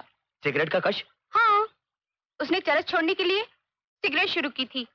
और चरस से पहले वो बाल्टी भर भर के शराब पीता था। ये कहानी तो सुनी हुई लगती है। ज़रूर सुनी होगी। वो तो कोठे पर भी जाता था। परसों मुजरे में गुजार दिए उनकी कंपनी का दिवाला निकल गया और इनकम टैक्स रेड मारकर सब कुछ ले गई। ए आशा की बच्ची ये कहानी तुमने कहाँ से सुनी? मेरे भैया ने सुनाई। तुम्हारे भाई का नाम क्या है? श्यामलाल। अरे वो जाने तेरा भाई है। मर गया। अरे मेरे रुकने से मेरी माँ रुकने वाली नहीं है कई लोगों ने मेरी शादी कैंसिल कर डाली तो मेरी तो खटिया ही खड़ी हो जाएगी। ए माँ ए भाभी ए रुक जाओ ए। माँ मुझे माफ़ कर दे। माँ माँ माँ, मैं तेरे हाथ जोड़ता हूँ मुझे माफ़ कर दे। पहले ये तो बता इतना मस्का क्यों लगा रहा है? मुझे शर्म आ रही माँ। बड़ा आया शर्म वाला। कल शादी के लिए इतनी लंबी जबान लेकर मुझसे लड़ रहा था। तब शर्म नहीं आ रही थी। आई ना माँ तभी तो रात भर सोया नहीं मैं। कितनी गाली दी मैंने अपने आप को मालूम है? मैंने कहा कि अबे नालायक अमर अरे जिस माँ के पैरों के नीचे स्वर्ग होता है तो उस माँ से जबान लड़ाता है? बस सारी रात ज़मीन पर नाक रगड़ता रहा। देखो ना मेरी नाक भी छिल गई है। माँ ए माँ मुझे तेरा फैसला मंजूर है। कौन सा फैसला? अब अब वही शादी वाला?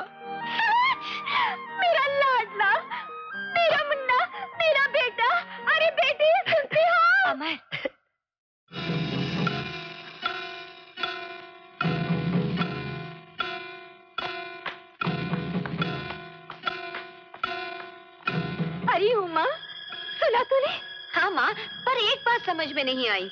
एक रात में अमर पे किसी ने जादू कर दिया जो अचानक शादी के लिए राज़ी हो गया। भाई मुझे तो इसमें कोई गहरी चाल लगती है हाँ। अरे चाल गई भाड़ में। मेरी बात मानकर अमर शादी कर रहा है मेरा मतलब निकल गया। बाकी का हमें क्या लेना देना है? ये क्या अमर? कल तक तो बिल्कुल आग बना हुआ था। आज बर्फ़ बन गया। अरे भाभी जब असलियत का पता चलेगा तो तुम भी चौक जाओगी। ये जो श्यामलाल जी आए थे ना वही तो आशा के बड़े भाई है। क्या? हाँ। फिर मैंने खामखा उनको झूठ बोलकर अपनी कंपनी को दिवालिया बताकर उनकी खटिया खड़ी कर डाली। चलो अच्छा हुआ। अपने को ज़्यादा मेहनत भी नहीं करनी पड़ी।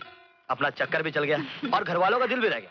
ये तो वाकई बहुत अच्छा हुआ। और हाँ घर के बड़ों को एक भाव मिल गई और तुम्हें एक दासी और ये गुलाम तो तुम्हारी खिदमत में पहले ही हाजिर है। अब तो तुम्हारी चांदी चांदी है।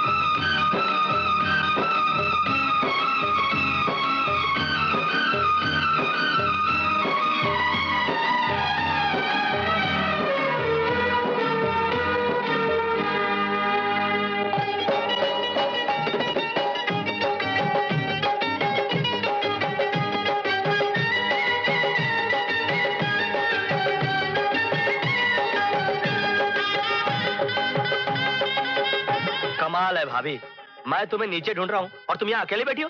मेरी तबीयत ठीक नहीं है। चलो ना भाभी नीचे कितना मज़ा आ रहा है। अमर मेरी बात सुनो सचमुच मेरी तबीयत ठीक नहीं है। न तुम ऐसे नहीं मानोगी। तुम्हें गोद को उठा के ले जाना पड़ेगा। एक मिनट। वाह क्या पोज है। रेडी वन टू टू तेरे की मैं इसमें फुल्लम डालना ही भूल गया। एक मिनट ना मैं अभी रोल भर के आता हूँ। रखा मैं मुझे तंग मत करो। हम्म। तंग मत करो? अरे तंग करने के तो अभी इसलिए दिन है। और सबसे ज़्यादा तो वो तंग करेगा जो आने वाला है।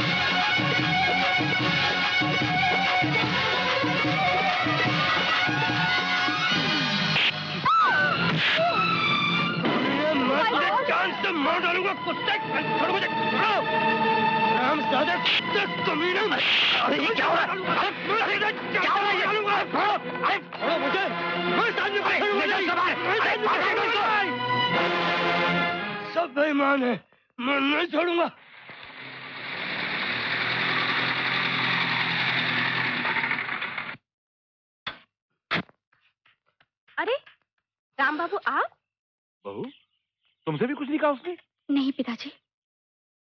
ताज्जुब है? इसमें ताज्जुब की क्या बात है पिताजी? भैया और भाभी में कुछ खिसपिट हो गई होगी। और ये महारानी दुनिया आती है इनकी बला से और जाती है इनकी जूती से। इन्हें क्या? बस पड़ी रहती है आराम से? तू अपनी बकवास बंद कर। मालिक मालिक राम बाबू कल रात जब बाहर जा रहे थे तो मुझसे कह गए थे कि मैं कंपनी के काम से बाहर जा रहा हूँ। अरे तो कम्बक तूने पहले क्यों नहीं बताया? वो क्या है मालिक? घर में बहुत काम था ना? भूल गया मालिक। अरे जा।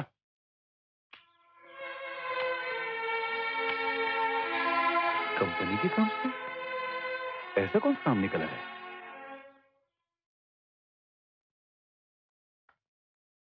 गुड मॉर्निंग ये ये कौन सी जगह है? ये मेरा घर है। मैं यहाँ कैसे आया? मैं तुम्हें यहाँ लाई हूँ। एक होटल के बाहर शराब के नशे में धुत पड़े हुए थे। शायद लोगों ने बाहर उठाकर फेंक दिया। ये तो अच्छा हुआ कि वहाँ से मैं गुजर रही थी और तुम्हें यहाँ ले आई। लगता है तुमने ज़िंदगी में पहली बार शराब पी है जो अब तक तुम्हारा सर दुख रहा है। एक काम करो चाय पी लो। जल्दी से नहा धोकर तैयार हो जाओ। मैं तुम्हें घर छोड़ाती हूँ। घर? मैं अब उस घर में वापस जाना नहीं चाहता। कैसी बातें कर रहे हो? तुम्हारा नशा उतरा नहीं अब तक। नशा तो सारी ज़िंदगी था मुझे। झूठी खुशियों का नशा जो आज उतरा है। वो घर तो मक्कारी और बेईमानी का एक स्टेज है जहाँ लोग अपने चेहरे पे धोखेबाजी का मेकअप करके शराफत की अदाकारी करते हुए फरेब देते हैं। मैं ना तो उस घर में कभी जाना चाहता हूँ और ना ही किसी की सूरत देखना चाहता हूँ। लेकिन ऐसे कैसे ज़िंदगी गुजरेगी? ज़िंदगी की अब परवाह भी किसको है? मेरे लिए तो बस अब एक ही रास्ता बचा है। और वो है मौत। ये क्या बेहुदा बात हुई? बिला वजह जान दे दोगे? हाँ तो क्या हुआ? मेरी मौत से किसी को क्या फ़र्क पड़ने वाला? लगता है कोई गहरा सदमा पहुँचा है इन्हें। इस वक्त अगर मैंने सहारा ना दिया तो ये कुछ भी कर बैठेंगे।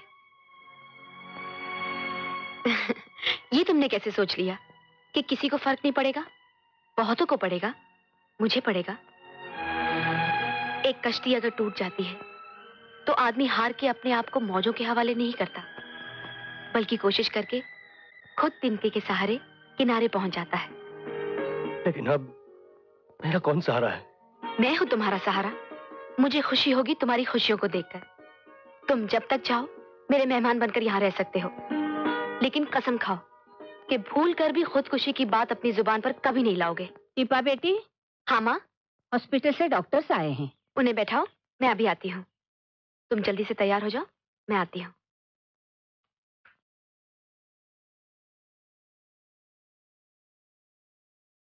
नमस्ते। नमस्ते जी। डॉक्टर दीपा आपके कहने के अनुसार शो की सारी तैयारियाँ पूरी हो चुकी हैं और ये रही शो की बाकी टिकटें। बहुत बहुत धन्यवाद। अच्छा जी अब हम लोग चलते अच्छा, हैं नमस्ते।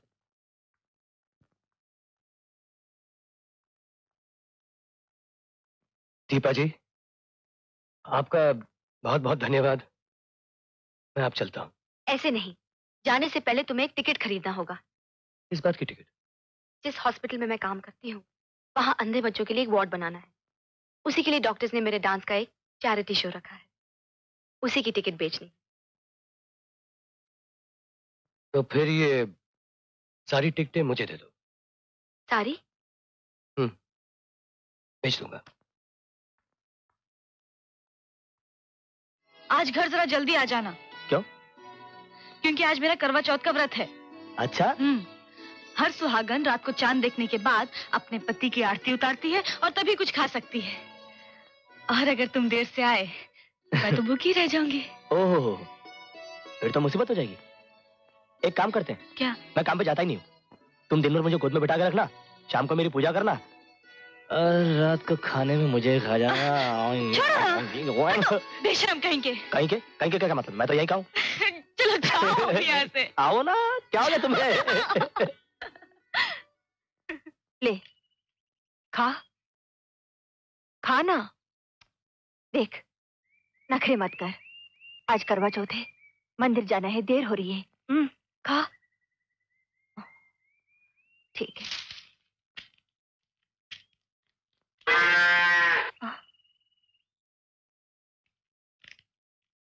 क्या है? हाँ? साथ चलना है क्या? चलो।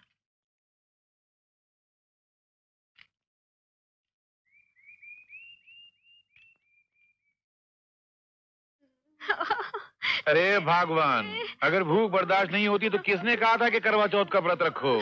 तुम चुप रहो जी यहाँ भूख के मारे बुरा हाल हो रहा है और तुम्हें मज़ाक सूझ रहा है। एक चाँद भी तो नहीं निकलता। रहे नाम भगवान का और व्रत रखना काम नहीं है मामूली इंसान का। हाँ, मुझे चक्कर आ रहा बेटी। शर्म तो आती नहीं चक्कर आ रहे हैं। क्या कहा? नहीं मैं ये कह रहा था कि मान लो आज चाँद नहीं निकला तो फिर कल शाम तक भूखा रहना पड़ेगा ना? हाँ, बोला जी ऐसी गंदी बात मुँह से क्यों निकालते हो मेरे मुँह से निकालने से क्या चाँद थोड़ी निकल आएगा? वो तो जब निकलना निकलता रहेगा। अच्छा बोलो। आओ बेटा चाँद देखते चल माँ चल चाँद हाँ ढूंढो मिलेगा नहीं। आज के दिन सुहागन व्रत रखती है कि अन्न से भले ही पेट खाली रहे मगर सिंदूर से मांग कभी खाली न रहे पति के साय में ज़िंदा रहे। और और उसी के गोद में मुस्कुराते हुए इस संसार से चली जाए। आज आज तेरी इस बेटी के सुहाग का रखवाला नहीं आया, माँ। अगर मेरी तपस्या सच्ची है तो आज तुम मेरे पति के दर्शन करा के रहेगी। वरना मैं यही तेरे चौकट पर सर पटक पटक के जान दे दूँगी, क्योंकि ये मेरे पतिव्रता धर्म का अपमान होगा। तेरी इस बेटे की आन का अपमान होगा। मतलब मतलब तेरा अपमान होगा।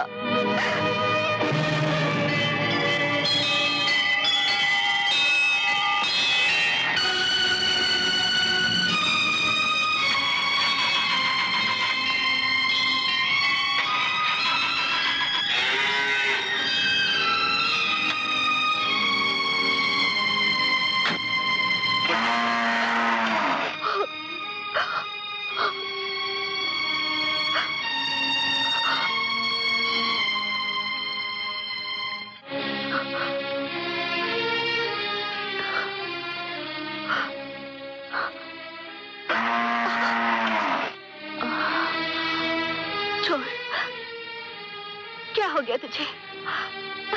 छोड़ना। क्या हो गया तुझे? क्या हो गया? हाँ? छोड़ना। देख, जब तक मेरी मुराद पूरी नहीं होती, तब तक मैं यहाँ से नहीं हटूँगी।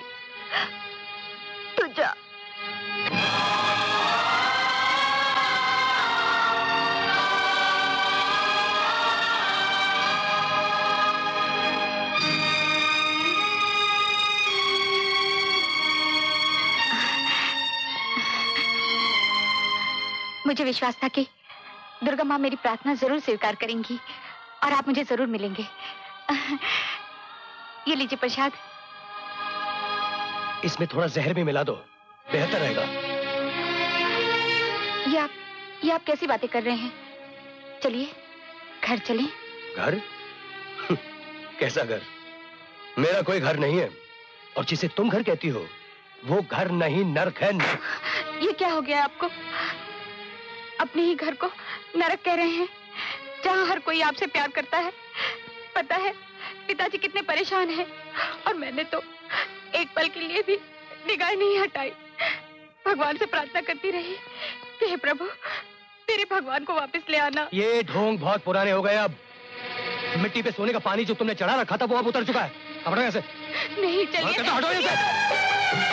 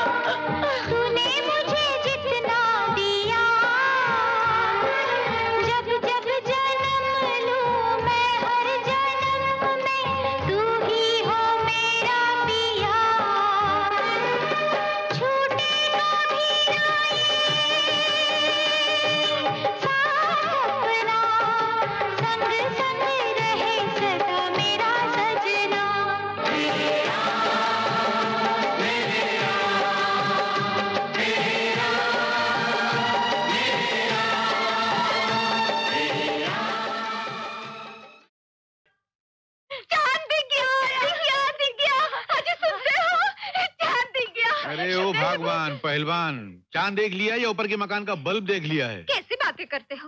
मैंने अपनी आँखों से देखा है। तुम्हारी आँखों का कोई भरोसा है? पिछले साल पहाड़ी से आती हुई मोटरसाइकिल की हेडलाइट देख ली थी तो चाँद समझ के ऊपर तोड़ दिया था। चुप रहो जी। अरे गंगा जल्दी से पूजा का सामान ले आ। ला भाई। और भाभी जल्दी से खाना लगा दो हाँ?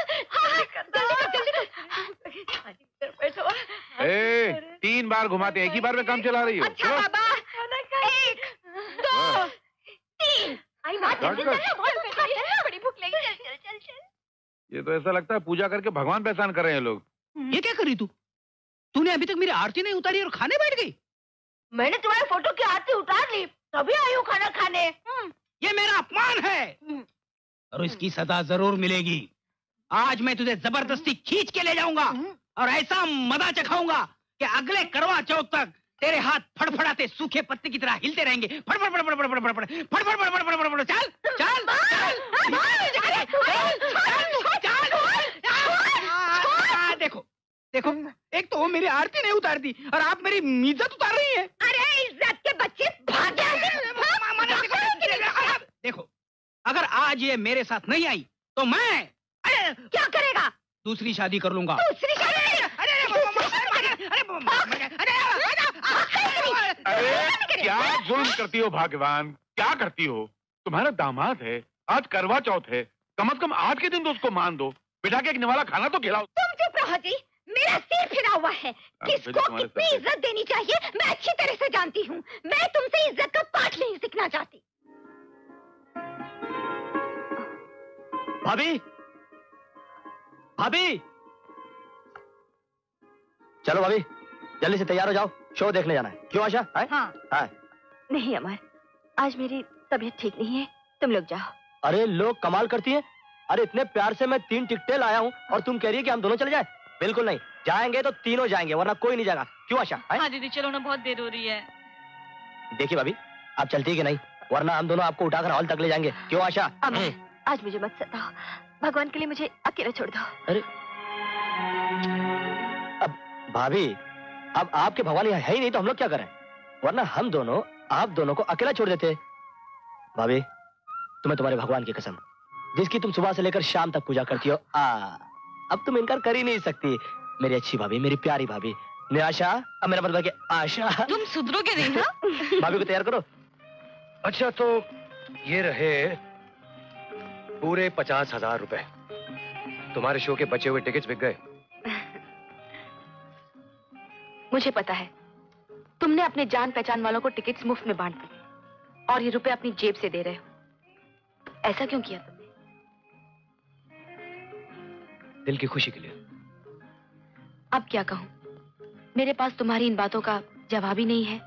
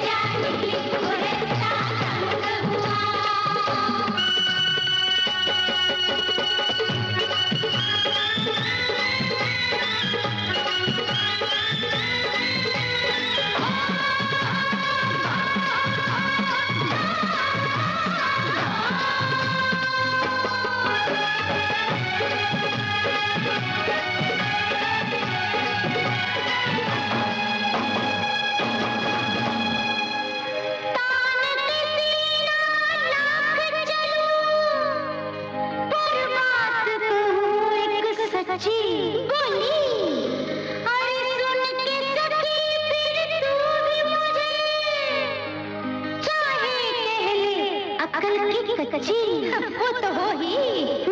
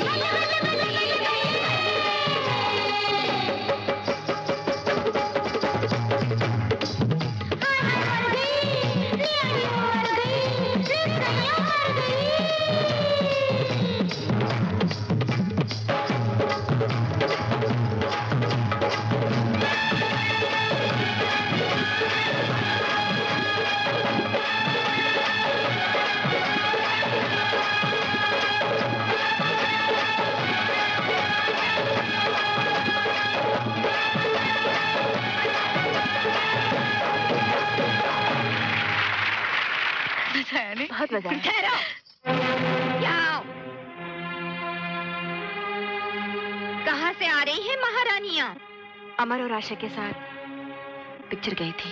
अगर तुझे कुछ हो जाता तो बिरादरी में तो मुँह मेरा काला होता ना। लोग कहते सास ने बहू का ध्यान ही नहीं रखा। अरे चुप क्यों है? बोलते क्यों नहीं? माँ जी सीता दीदी को हम दोनों ज़बरदस्ती ले गए थे। ये अपनी मर्ज़ी से नहीं चली थी। इस घर में मेरी मर्ज़ी चलती है। तू इसे ज़बरदस्ती ले जाने वाली कौन होती है? अरे इसमें ऐसा कौन सा गुनाह हो गया जो आप इतना डांट फटकार कर रही हैं? देखा माँ कल आई है और आज तुझसे जबान लड़ाना शुरू कर दी। क्यों? इस घर में सच बोलने को जबान लड़ाना कहते हैं? अभी अंडे से बाहर निकली नहीं और चोंच मारना शुरू कर दिया। चल माफ़ी माँ जी किस बात की माफ़ी? कसूर क्या है मेरा? हाँ अभी भी बोले जा रही है तेरी ये मजाल। अभी मज़ा चखाती हूँ आशा चुप हो जा। ना तुमने समझ? है अपने आप माँ जी, हाँ? माँ जी, माँ जी, माँ जी, ये क्या कर रहे हैं आप? छोड़ दे मेरा हाथ छोड़ चल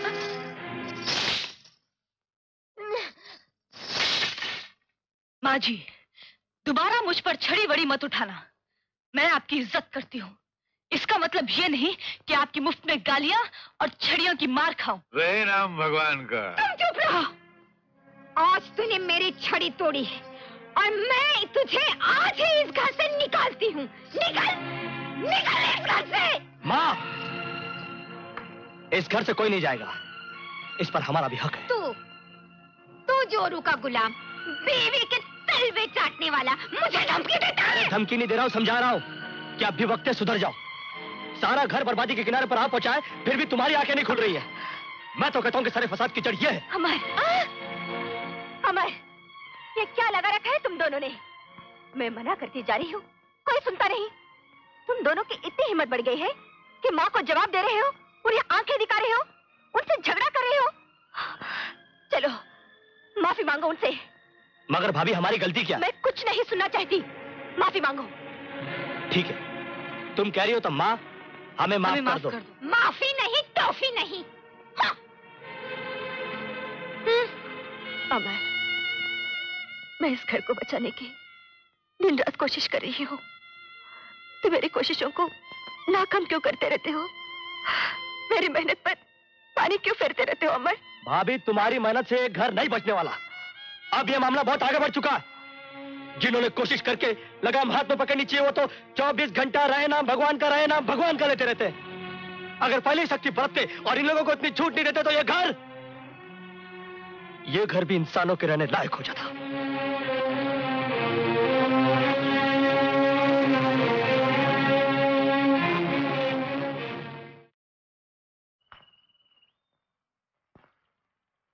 कैसे लगे ये फूल? ये सब क्या है राम? तुमने इस अंधेरे दिल में जो दिया जलाया है उसके बदले में ज़िंदगी भर तुम्हारी राहों में फूल बिखेरता रहूँ तो भी कम है। लेकिन ये सब किस लिए? जन्मदिन मुबारक हो दीपा। तुम्हें कैसे पता चला कि आज मेरा जन्मदिन है? अरे तुमने हमें नया जन्म दिया है तो हम क्या तुम्हारा जन्मदिन भूल जाएँगे? हमने कहीं से पता लगा ही लिया। हम्म हैप्पी बर्थडे इतनी सी बात के लिए इतनी कीमती अंगूठी? दीपा तोहफे की कीमत नहीं देखी जाती बल्कि तोहफा देने वाले की नीयत देखी जाती है। लो। अच्छा तो मैं चलता हूँ। अच्छा। और हाँ तुम तुम शाम को तैयार है ना? क्यों? पार्टी हमारी तरफ़ से। हम्म? बेटी राम की हरकतें मुझे कुछ ठीक नहीं लग रही संभल के रहना बेटे। तुम चिंता मत करो माँ। दरअसल राम के दिल में गहरी चोट लगी है। अगर मैं इसे सहारा न देती तो शायद ये खुदकुशी कर लेता या शराब पी पी कर अपनी जान दे देता। थोड़ा सा वक्त लगेगा माँ। लेकिन ये मेरे ही इलाज से ठीक होगा। नमस्ते धनराज जी। अरे आइए जमुनादास जी आइए। सत्यनारायण देव की जय। कैसे आना हुआ? उमा बेटी के लिए लिफाफा लाया हूँ जो उसके पति ने उसके लिए भेजा है। बोलो श्री सत्यनारायण देव की जय। हो गया। हाँ। उमा बेटी? क्या बात है पिताजी? तुम्हारा ये लिफाफा आया हुआ है। लिफाफा? हीरा।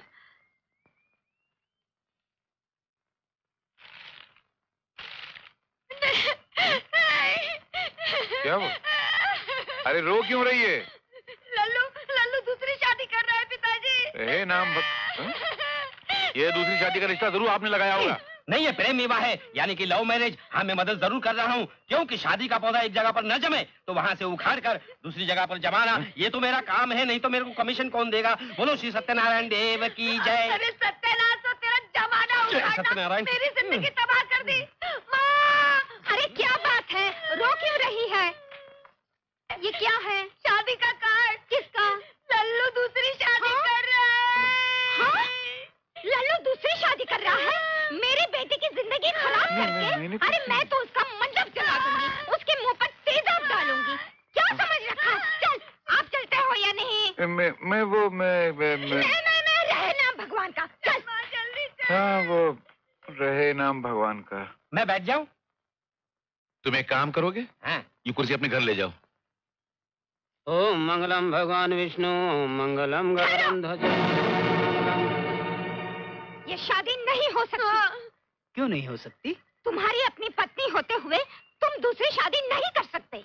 ऐसी बीबी क्या जो अपने पति की ना हो सके? इन्होंने मुझे सब कुछ बता दिया है। मैं अपनी मर्ज़ी से ये शादी कर रही हूँ। सुन लिया ना? चलो जाओ अब। ऐसा मत कहो जी। आखिर मैं तुम्हारी पत्नी हूँ। पत्नी? और तू? उमा पत्नी तो वो होती है जो पति के सुख दुख में साथ दे। अपने पति के घर को स्वर्ग बनाए। उमा औरत के काम से ही घर में बरकत आती है। जब वो झाड़ू लगाती है तो आने वाली मुसीबतें झाड़ू के तिनकों से टकरा कर वापस चली जाती है। जब वो चूल्हा जलाती है तो ईश्वर के नज़र में वो तपस्या का चिराग माना जाता है और ईश्वर उसी घर में सुख की रोशनी बिखेरते हैं। जब वो कपड़े धोती हैं तो उन कपड़ों के साथ साथ उसकी तकदीर का मैल भी धुलकर साफ़ हो जाता है। औरत कहने को तो घर का काम करती है, लेकिन असलियत में वो अपना धर्म निभाती है। अपने हाथों से अपनी तकदीर अपना मुकद्दर संवारती है। और एक तू है तू जो अपना घर अपना पति छोड़कर अपनी माँ की गोद में पड़ी है।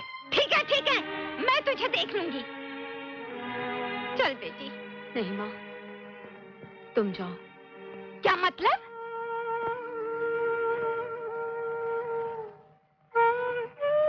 मैं इनके साथ अपने घर जाऊँगी। लगता है यहाँ आकर तू पागल हो गई है। यहाँ आकर ही तो मुझे अकल आई है। अगर झूठी अकड़ में घर बैठी रहती तो ये दूसरी शादी कर लेते। तो फिर जा जहन्नम में? हाँ, मर भिखारी के साथ तुम एक काम करो तुम आगे निकल जाओ। मैं इन लोगों को समझा के आता हूँ नहीं तो ये बाद में गड़बड़ करेंगे। जाओ अच्छा।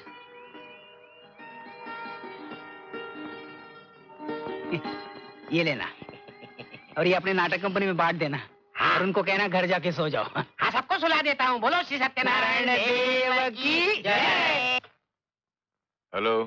पिताजी मैं लल्लू बोल रहा हूँ। हाँ बोल बेटा। क्या आइडिया बताया था आपने? तीर बिल्कुल निशाने पे जाके बैठा। अच्छा और और उमा? उमा मेरे साथ आ गई। क्या बात करता है? और शांता? माँ जी जख्मी शेरनी की तरह छाती पकड़ के रह गई। रहे नाम भगवान का। वाकई रहे नाम भगवान का। अच्छा सुन वो कांटे वाली शेरनी आ रही फ़ोन रख दे। आओ कांटा ने वो, वो, शांता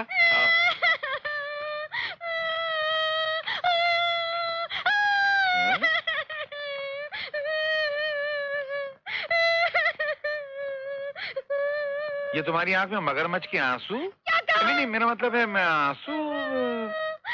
आँसू नहीं तो क्या? कीचड़ होगा। मेरी लाडली बेटी अपने ससुराल चले गए अरे रे रे रे। मतलब शैतानों की टीम आधी हो गई है ना? हाँ। नहीं मेरा मतलब है कि बहुत दिनों बाद अकल आई है उसको। काफ़ी दिन गुजार लिए उसने इस घर में। अगर पहले चली गई होती तो अब तक दो बच्चों की माँ बन चुकी होती। कैसे उल्टी सीधी बातें हो अब मेरा क्या होगा? मेरी देखभाल कौन करेगा? आँखों पे चश्मा लगा हुआ है और अकल की अंधी हो। इस घर में तीन तीन बहुए हैं और जिसकी तीन बहुएँ होती हैं वो आधी दुनिया की मालकिन होती है। अभी रोना धोना बंद करो चेहरे का डिज़ाइन ठीक करो। रोते वक्त जरा ज़्यादा भयानक लगती हो। चलो चलो चलो चलो चलो जा आँसू बचो चलो चलो। इतने सारे आँसू निकल कहाँ से रहे आँखों में नल लगा हुआ है क्या? चलो चल चल मेरे लिए एक कप चाय लाओ।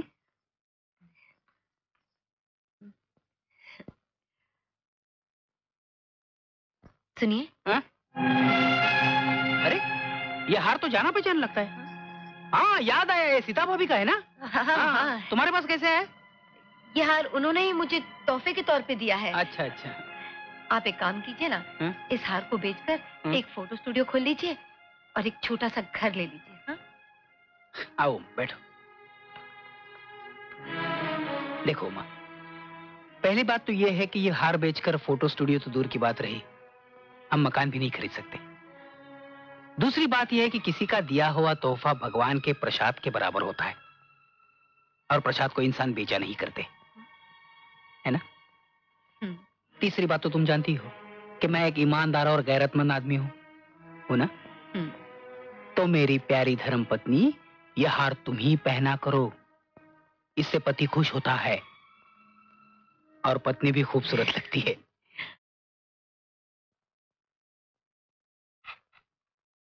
अरे कांता कांता यह दादी माँ को देख किसी गुब्बारे की तरह मुँह फुलाई बैठी है। जब से उमा बुआ क्या चली गई इनकी कव्वाली की तीन मुँह टूट गई। अच्छा कांता दादी माँ सुबह सुबह कैसे चिल्लाती है? जब बता तो। बताओ हाँ बता। बड़ी बहू अरे ओ छोटी बहू कहाँ मर गई सबकी सब? मेरी तो भूख के मारे जान निकली जा रही है और इन हरामखोरों ने अभी तक नाश्ता नहीं लगाया।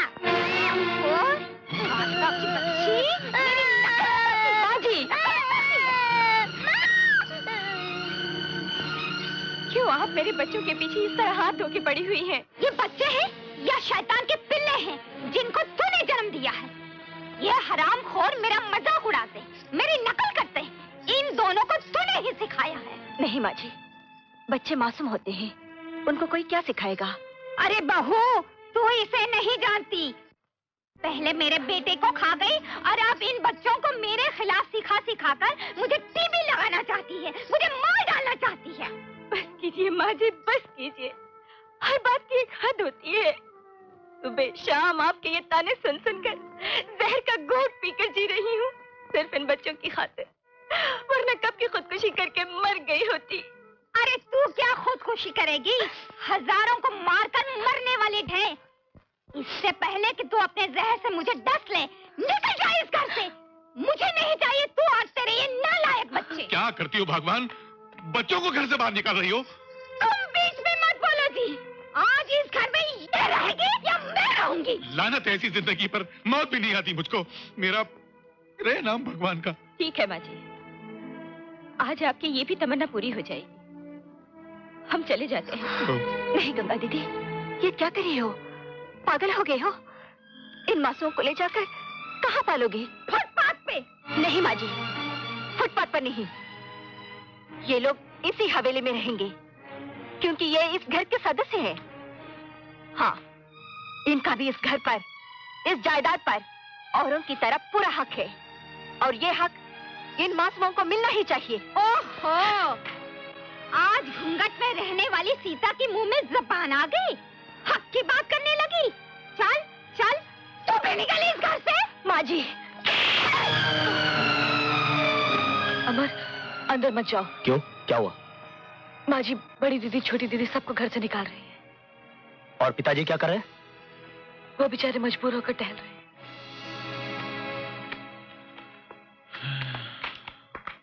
हाय डैड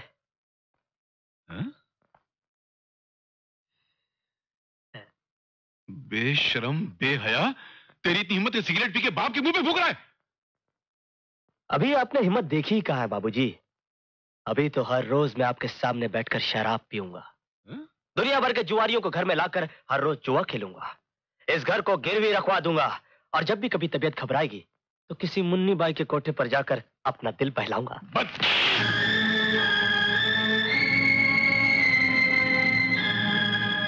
वाह बाबूजी वाह! क्या मिलिट्री वाला हाथ मारा है। इसे कहा छुपा रखा था? इसी की तो ज़रूरत है। आज आज पहली बार आपने इस घर में हाथ उठाया है। इसे उठाए रहने दीजिए। ये आज तक नीचे था इसीलिए इस घर की बुनियादों में अशांति की दिमक लग गई थी। इसे उठाइए और ज़ोर से घुमाइए। और, और इस घर की उजड़ती हुई दुनिया को फिर से बसा लीजिए बाबूजी। फिर से बसा लीजिए। आज आज एक सोया हुआ शेर जागा है। इसे जागा ही रहने दीजिए। ये लीजिए अपनी मशीन गन और भून कर डालिए इस घर की अशांति को। हाँ बाबूजी लीजिए। और भून के रख डालिए इस घर की शांति को। भून के रख डालिए आज बेटे तूने मेरे मन में सोए हुए धनराज को जगाया है। धनराज के अंदर सोए हुए मर्द को जगाया है। अब नहीं सोएगा वो। रे नाम भगवान का। कोई नहीं रहेगा इस घर में। चलो निकलो यहाँ से। up! कोई नहीं जाएगा यहाँ से बाहर। बहू तुम अंदर जाओ। इनमें से कोई भी अंदर जाएगा तो मैं टांगे तोड़ दूँगी। निकल यहाँ से। शांता! मैं कहती हूँ तुम चुप रहो। और मैं कहता हूँ तुम अपनी बकवास बंद करो और अंदर जाओ। नहीं जाऊँगी। ये अंदर नहीं बाहर जाएँगे। शांता! मैं तुमसे आखिरी बार कहता हूँ अंदर जाओ। अगर तुमने भी जिद की तो मैं तुम्हारी भी हालत खराब कर दूँगी। तो मेरी हालत खराब करेगी तो फिर रहे नाम भगवान का।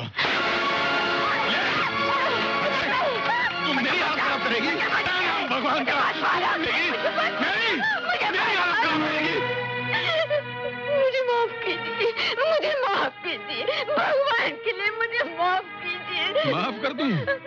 मैंने इस घर की नैया चलाने के लिए तुम्हारे हाथों में दी। तुमने उस नैया को तूफ़ान के मझधारों में पहुँचा दिया।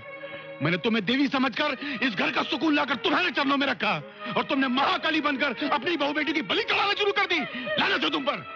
बोलो। और बोलो।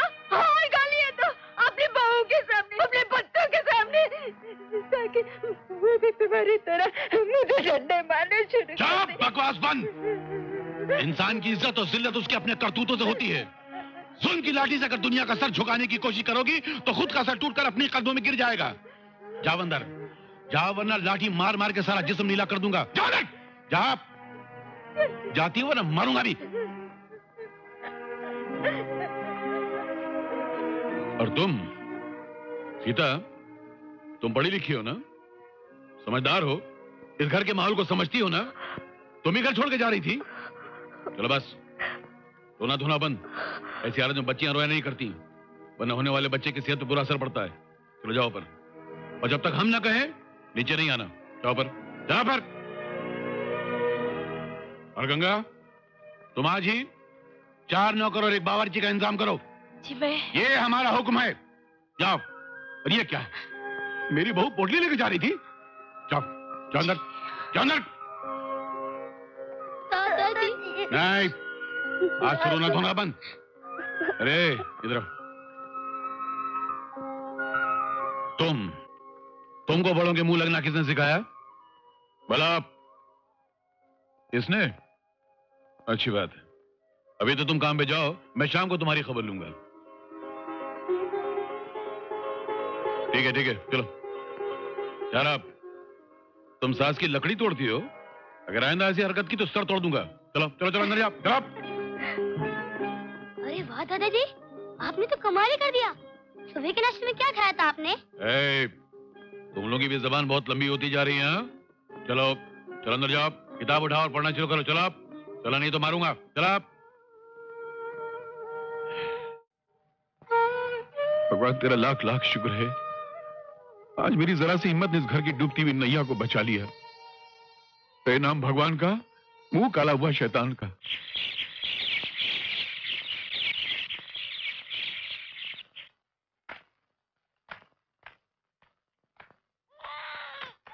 हाँ, क्या हुआ? पिताजी सीता दीदी को लड़का हुआ है। लड़का? अरे ईद की रे बेटी शांता! शांता! अरे शांता! शांता शांता सीता के लड़का हुआ है। अरे भगवान इतनी खुशी का मौका है। गुस्सा थूक दे और बाहर आ जा आजा जा नहीं मैं तुम्हारे लिए मर चुकी हूँ। ये मेरी समाधि है। तुम क्या समझती हो मुर्गा आजान नहीं देगा तो सुबह नहीं होगी? जिद्दी नींद चढ़े हुए करेले की औलाद। तो फिर मारो। दादाजी क्या है? दो दिन से कुछ नहीं खाया माँ जी ने। इसने दो साल भूखा मरने दो उसको। नहीं बाबूजी नहीं दादाजी प्लीज़ दादी को खिलाओ ना।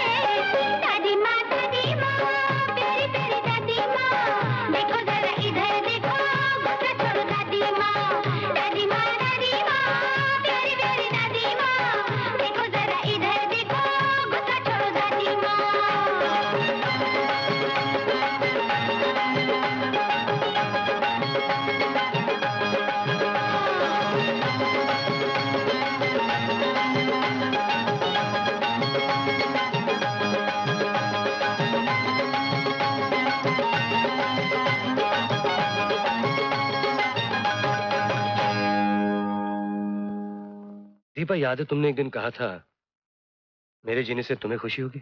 हम्म। तो आज मैं तुमसे पूछना चाहता हूँ क्या वाकई तुम मुझे खुश देखना चाहती हो? हाँ बिल्कुल। तो क्या तुम मुझसे शादी करोगी?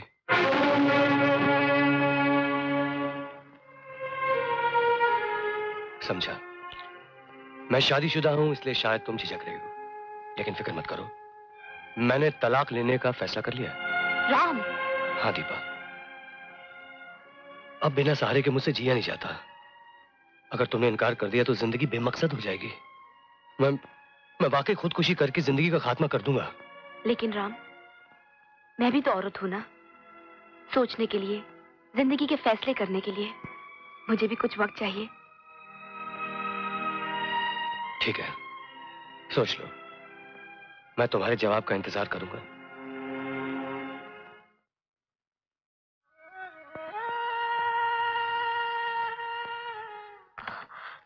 अरे दीपा जी आप? बैठिए। क्या देख रही हैं? मैं देख रही हूँ कि आज के मॉडर्न जमाने में पति को भगवान की तरह पूजा जा रहा है। जमाना कैसा भी हो दीपा जी मगर हिंदुस्तानी औरत, हिंदुस्तानी सभ्यता के अनुसार हमेशा अपने पति को भगवान का ही दर्जा देती है। मगर पति अपनी पत्नी को देवी का दर्जा नहीं देता? ऐसा क्यों? इस क्यों का जवाब मेरे पास नहीं है। सीता जी आज आपका ये रूप देखकर मेरा दिल भर आया। दरअसल मैं आपको कुछ बताने आई हूँ। जरा दिल थाम कर सुनिएगा। ये आप अपने पति को जो इतना बड़ा दर्जा दे रही हैं, उसकी पूजा कर रही हैं। आज आपके इसी पति ने दूसरी शादी करने का फैसला किया है। आप सचमुच देवी हैं। इस मंदिर में राम की जगह आपकी मूर्ति होनी चाहिए थी। आज आप जैसी देवियों की वजह से हमारे देश का सर ऊँचा है, हमारी संस्कृति अमर है। मुझे पूरा विश्वास है, आपका कोई कुछ नहीं बिगाड़ सकता। सीता, मैं तुम्हें प्रणाम करती हूँ। तुम महान हो।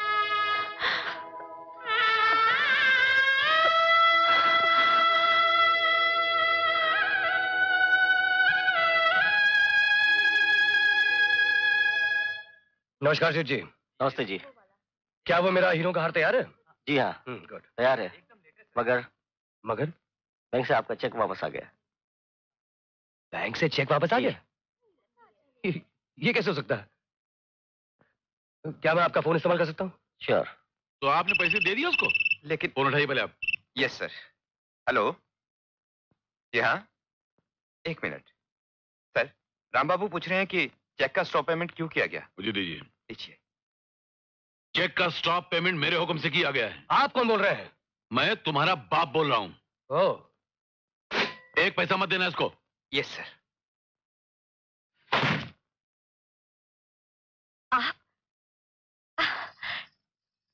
मैं जानती थी। आप ज़रूर लौटाएँगे। ज़्यादा खुशी का ढोंग करने की ज़रूरत नहीं मैं तुमसे मिलने नहीं आया हूँ। वो हीरो का हार का जो मैंने तुम्हें दिया था। हार? हाँ मैं अभी लाई।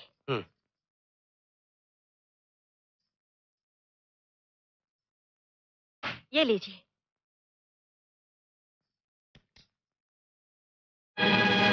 ये तो खाली। इसके अंदर का हार का है? मैंने तो मैंने तो इसी में रखा था। तो वो हार गया का? क्या ये बॉक्स उसे खा गया? ये क्यों नहीं कहती कि तुमने अपने चाहने वाले को दे दिया है? कैसी बातें कर रहे हैं आप? देखिए मुझे मार डाली अपने हाथों से जहर दे दीजिए। मैं हर काम करने के लिए तैयार हूँ। लेकिन लेकिन ऐसा गंदा इल्ज़ाम कभी मेरे दामन पर मत लगाइए। तुम मेरी हर बात मानने के लिए तैयार हो? तो फिर इस तलाकनामे पे दस्तखत करो।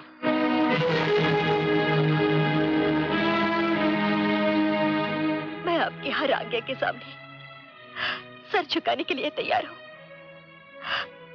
लेकिन लेकिन तलाक से पहले मुझे ये तो बताइए। मेरा कसूर क्या है? कसूर? एक सीधे सादे शरीफ आदमी की आँखों में धूल झोंक कर पूछ रही हो कि मेरा कसूर क्या है? अरे अगर अपनी इज़्ज़त के साथ अपना जमीर नहीं बेचा है तो अपने जमीर के गिरबान में झाँक कर पूछ अपने आप से कि तूने क्या पाप किया है? मेरा जमीर मेरा दिल मेरे भगवान की तरह पवित्र है। मुझे किसी से पूछने की ज़रूरत नहीं कि मैंने क्या पाप किया है। ये वो राम ही नहीं रहा जो अपनी सीता की अग्नि परीक्षा ले सके। और ये किसी पे क्या इल्ज़ाम लगाएगा? ये तो खुद मुजरिम है। अपनी पत्नी के होते हुए किसी और औरत की इश्क का भूत सवार है इस पर। भूत तो आपके सर पर सवार है श्री धनराज। ये क्या कर रही हैं आप? मैं इस वक्त पिता से नहीं अपने पार्टनर से बात कर रहा हूँ। कौन पार्टनर? न तुम मेरे पार्टनर हो और न तुम्हारा उस कंपनी में कोई अधिकार है। आप शायद भूल रहे हैं कि कानूनी तौर पर मैं इस कंपनी का एक पार्टनर हूँ। और अगर मैं चाहूँ तो कंपनी तो एक तरफ़ इस हवेली को भी नीलाम करवा सकता हूँ। जिस बाप की उंगली पकड़ के तूने चलना सीखा आज उसी बाप की कंपनियों से घर को नीलाम करने की धमकी दे रहा है तू? इतना ज़्यादा हो गया तू? वाह। एक बाप के लिए से बढ़कर खुशी का दिन और क्या हो सकता है कि उसकी औलाद? इतनी ज़्यादा हो गई है। मुबारक हो बेटे मुबारक छोड़िया फजूल की ये आपको क्या हो गया है? आपके दिल में इस घर के खिलाफ किसने जहर भर दिया? बताइए बताइए मैं आपके पैर पड़ती हूँ। बताइए ना। नालायक मेरी देवी जैसी बहू को तूने कुलटा कहा? इससे तो अच्छा था तेरे पैदा होते ही तेरा गला घूमते हाँ हाँ तुम लोग और चाहते क्या हो? तुम सब लोग मेरी मौत चाहते हो। इस पाप की बस्ती में रहने वाला हर इंसान मेरी मौत का इंतज़ार कर रहा है। मगर मैं नहीं मरूँगा। मैं जीऊँगा अपनी ज़िंदगी जीऊँगा और ऐश से जीऊँगा। मेरा तुम लोगों से कोई रिश्ता नहीं कोई नाता नहीं। रुक जा बेटा। एक बात मेरी सुन ले बेटा। ऐसे मत जा एक बार अपने इस बूढ़े बाप को मर जाने दे। उसकी अर्थी को कांधा दे दे। उसकी चिता में आग लगा दे। उसके बाद जो जी मैं करना बेटा जो जी मैं करना।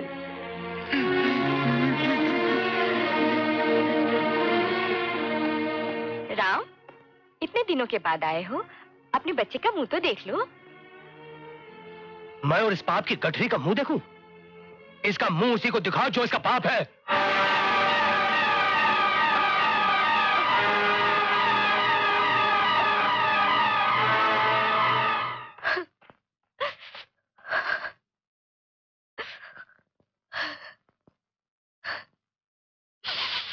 भाभी? क्या बात है भाभी? तुम रो क्यों रही हो? अमर, राम आया था। उसने सीता पर हीरो के हार का चोरी का इल्ज़ाम लगाया। और जाते जाते ये भी कह गया कि बच्चा उसका नहीं है। उसका बाप कोई और है।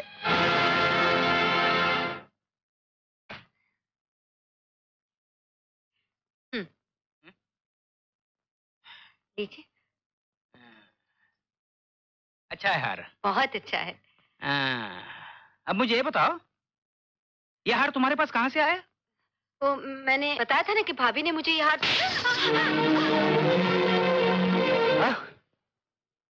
तुम मुझसे शादी नहीं कर सकती? हाँ। मैं दूसरे का सुहाग उजाड़कर उस सुहाग के खून को सिंदूर बनाकर अपनी मांग में नहीं लगा सकती। बंद करो ये बकवास। मैं ऐसी झूठी दलीलों से बहुत धोखे खा चुका हूँ। तुमने धोखे नहीं खाए बल्कि तुम्हारी आँखों ने तुम्हें खुद धोखा दिया है। तुमने जिस अमृत को जहर समझकर ठुकरा दिया वो सीता भाभी अमृत है। वो सीता भाभी हज़ार देवियों से महान है। मैंने तुमसे प्यार किया और अब सीता तुम्हारी भाभी हो गई हाँ? ये तुमसे किसने कहा कि प्यार सिर्फ़ इश्क करने वालों के दरमियान होता है? क्या भाई बहन का प्यार नहीं होता? दोस्त दोस्त में प्यार नहीं होता? माँ बाप अपनी औलाद से प्यार नहीं करते? चाहता तुम्हारा गला घोट के तुम्हें जान से मार डालूं। मगर नहीं कितनी औरतों का गला घोटूँगा मैं? आज विश्वास हो गया। विश्वास हो गया कि औरत जात बेवफाई का दूसरा नाम है।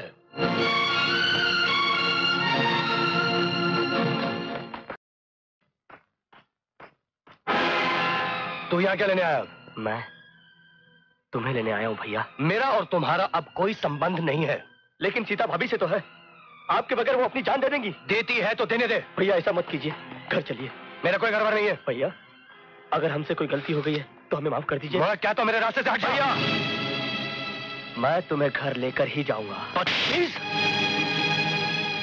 भैया चाहूँ तो मैं भी हाथ उठा सकता हूँ मगर मैं ऐसा नहीं करूँगा। क्योंकि मैं मारूँगा तो चोट भाभी को लगेगी।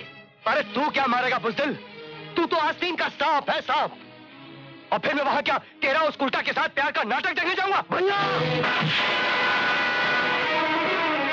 हट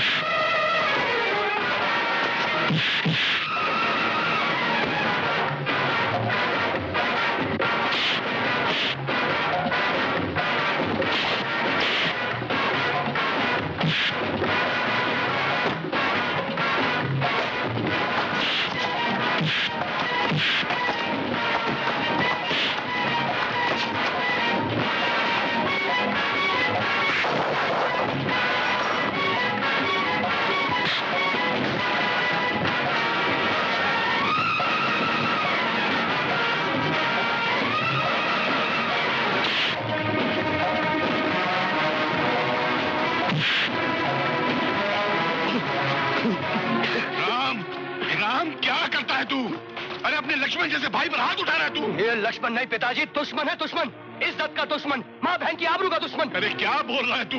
मैं ठीक कह रहा हूँ पिताजी ये वो जलील भाई है जिसने अपने बड़े भाई की पत्नी के साथ जो रिश्ते में इसकी बड़ी भाभी लगती है और धर्म के अनुसार इसकी माँ समान होती है। इस जमीर फरोश ने उसके साथ नाजायज रिश्ते पैदा कर लिए। जान ले लीजिए मेरी मगर आपने जो घृणा इल्ज़ाम लगाया है वो साबित करके दिखाना होगा। अब मैं क्या साबित करूँ? तेरे साथ वो पापन भी बराबर की शरीक है। तेरे प्यार में आकर मेरा लाया हुआ हीरो का हार तुझे तोहफे में दे दिया। एक एक मिनट राम भैया। जुर्म किसी और ने किया है और आप पाप का नाम लेकर किसी और बेगुनाह को गुनेगार ठहरा रहे हैं। इस सारे फसाद की जड़ आपकी ये बहन है, ये चोटी है। जो हार आपने सीता भाभी को दिया था, वो सीता भाभी ने अमर भैया को नहीं दिया था। वो हार बल्कि इसने चुराया था। चुराया था ना? ये लीजिए, ये है ना वो? अब तो यकीन आ गया। सिर्फ़ हार मिल जाने से उसकी पवित्रता साबित नहीं हो जाती पिताजी। मेरे पास उसके पाप के बहुत से सबूत हैं। और हमारे पास हर सबूत के तोड़ है भैया। बता दें इनको। राम भैया के दिमाग में सीता भाभी के खिलाफ शक का बीज कैसे बोया था? अमर हमेशा भाभी को आशा की प्यार की बातें सुनाया करता था। उस दिन भी वो वही कह रहा था। लेकिन भाभी सुनना नहीं चाह रही थी। इतने में राम भैया आ गए। मैंने फिर भाभी के खिलाफ बोलकर भैया के दिल का शक और भी गहरा कर दिया। अब तो विश्वास हो गया? बिल्कुल नहीं क्योंकि मैं किसी और की कही सुनी बातों पर शक करने वालों में से नहीं हूँ। मैंने खुद अमर को सीता से फ़ोन पर बातें करते हुए सुना है। क्या सुना? क्या सुना था? ये कि अमर सीता को फ़ोन पर कसम देकर बाग में आने के लिए कह रहा था। और फिर मैंने इन दोनों को बाग में खिल खिलाते बातें करते हुए अपनी आँखों से देखा है। भैया आपने जो कुछ भी सुना बिल्कुल ठीक सुना। लेकिन अमर भाभी को गार्डन में इसलिए बुला रहा था ताकि वो उन्हें मुझसे मिला सके। अमर ने मुझसे कहा था कि भाभी उनकी माँ जैसी है और जब तक वो मुझे पसंद नहीं कर लेती मैं इस घर में बहू बनकर नहीं आ सकती।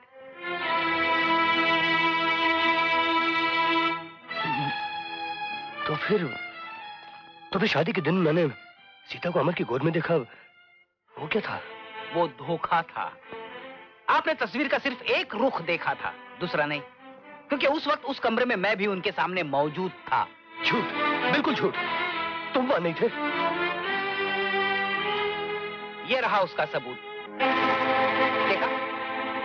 जब अमर अपनी भाभी को गोद में उठाया था तब मैं वहीं मौजूद था और उनकी तस्वीर उतार रहा था। अमर अपनी भाभी को इसलिए उठा रहा था क्योंकि उनकी तबीयत अच्छी नहीं थी और नीचे नहीं जाना चाहती थी। और ये बच्चे की तरह अपनी भाभी माँ को गोद में उठा के नीचे ले जाने की जिद कर रहा था। मेरे सामने। अब आया कुछ दिमागे शरीफ में। हाँ बेटे इस चांडालने की बातों में आकर तूने माँ बेटी के रिश्ते का अपमान किया है। और ये चांडालनी तू पैदा होते मर क्यों नहीं गई?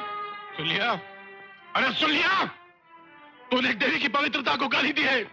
भगवान तुझे कभी माफ़ नहीं करेगा। कभी माफ़ नहीं करेगा तुझे। सीता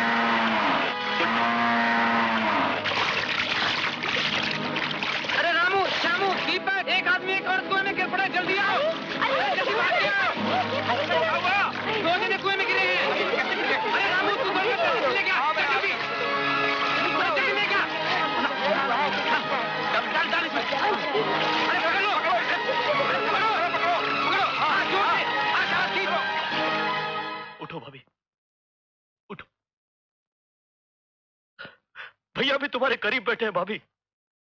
आके खोलो। तुम्हें तुम्हारे इस बेटे की कसम। आके खोलो।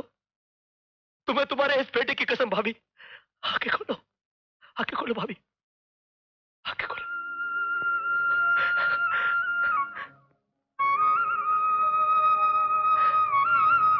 सीता।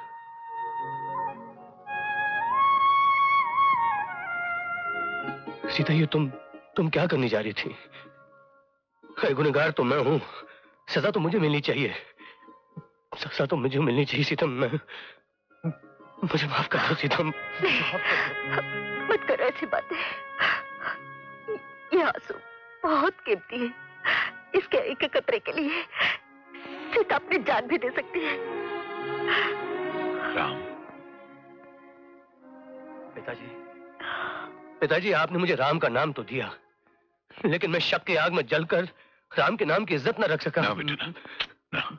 मैंने मैंने सीता की पवित्रता पर शक किया और लक्ष्मण जैसे भाई के रिश्ते को गाली दी मुझे माफ़ कर नहीं भैया नहीं ये क्या कर रहे हो बड़ा भाई शक करे गलती करे मारे कुछ भी करे मगर पाँव छूने का हक सिर्फ़ छोटे भाई का होता है और आप मुझसे मेरा यह हक मत छीनना हाँ? हाँ? अरे नहीं अमर मुझे माफ़ कर दे मेरे भाई। बेटी एक बात कहूँ। मैंने सारी ज़िंदगी जो गलती की वही गलती तूने भी की। मैंने अपनी पत्नी को उसकी औकात से ज़्यादा छूट दे दी थी और तूने अपने पति की भगवान से ज़्यादा पूजा कर डाली थी। यही हम दोनों की गलती थी। ज़िंदगी रेलगाड़ी की तरह होती है बेटी जिसमें मर्द इंजन की तरह होता है और औरत ड्राइवर की तरह होती है। अब अगर ड्राइवर इंजन को उसकी मनमानी करने दे या इंजन खुद की मनमानी शुरू कर दे तो ज़िंदगी जाकर एक्सीडेंट के खड्डे में गिर जाएगी। इसलिए प्यार से सही मगर एक दूसरे की लगाम थाम के रखनी चाहिए। और तब आराम से बिना झटके खाए हुए ज़िंदगी गाड़ी खुशियों के प्लेटफॉर्म तक पहुँच जाती है। और यही है घर घर की कहानी। बाकी रहे नाम भगवान का और मुँह काला हो। मैं क्यों बोलूँ? सभी बोले? आ, ये पहली मर्तबा तुमने अकल की बात। छोड़ो जी। मुँह काला हो। शैतान का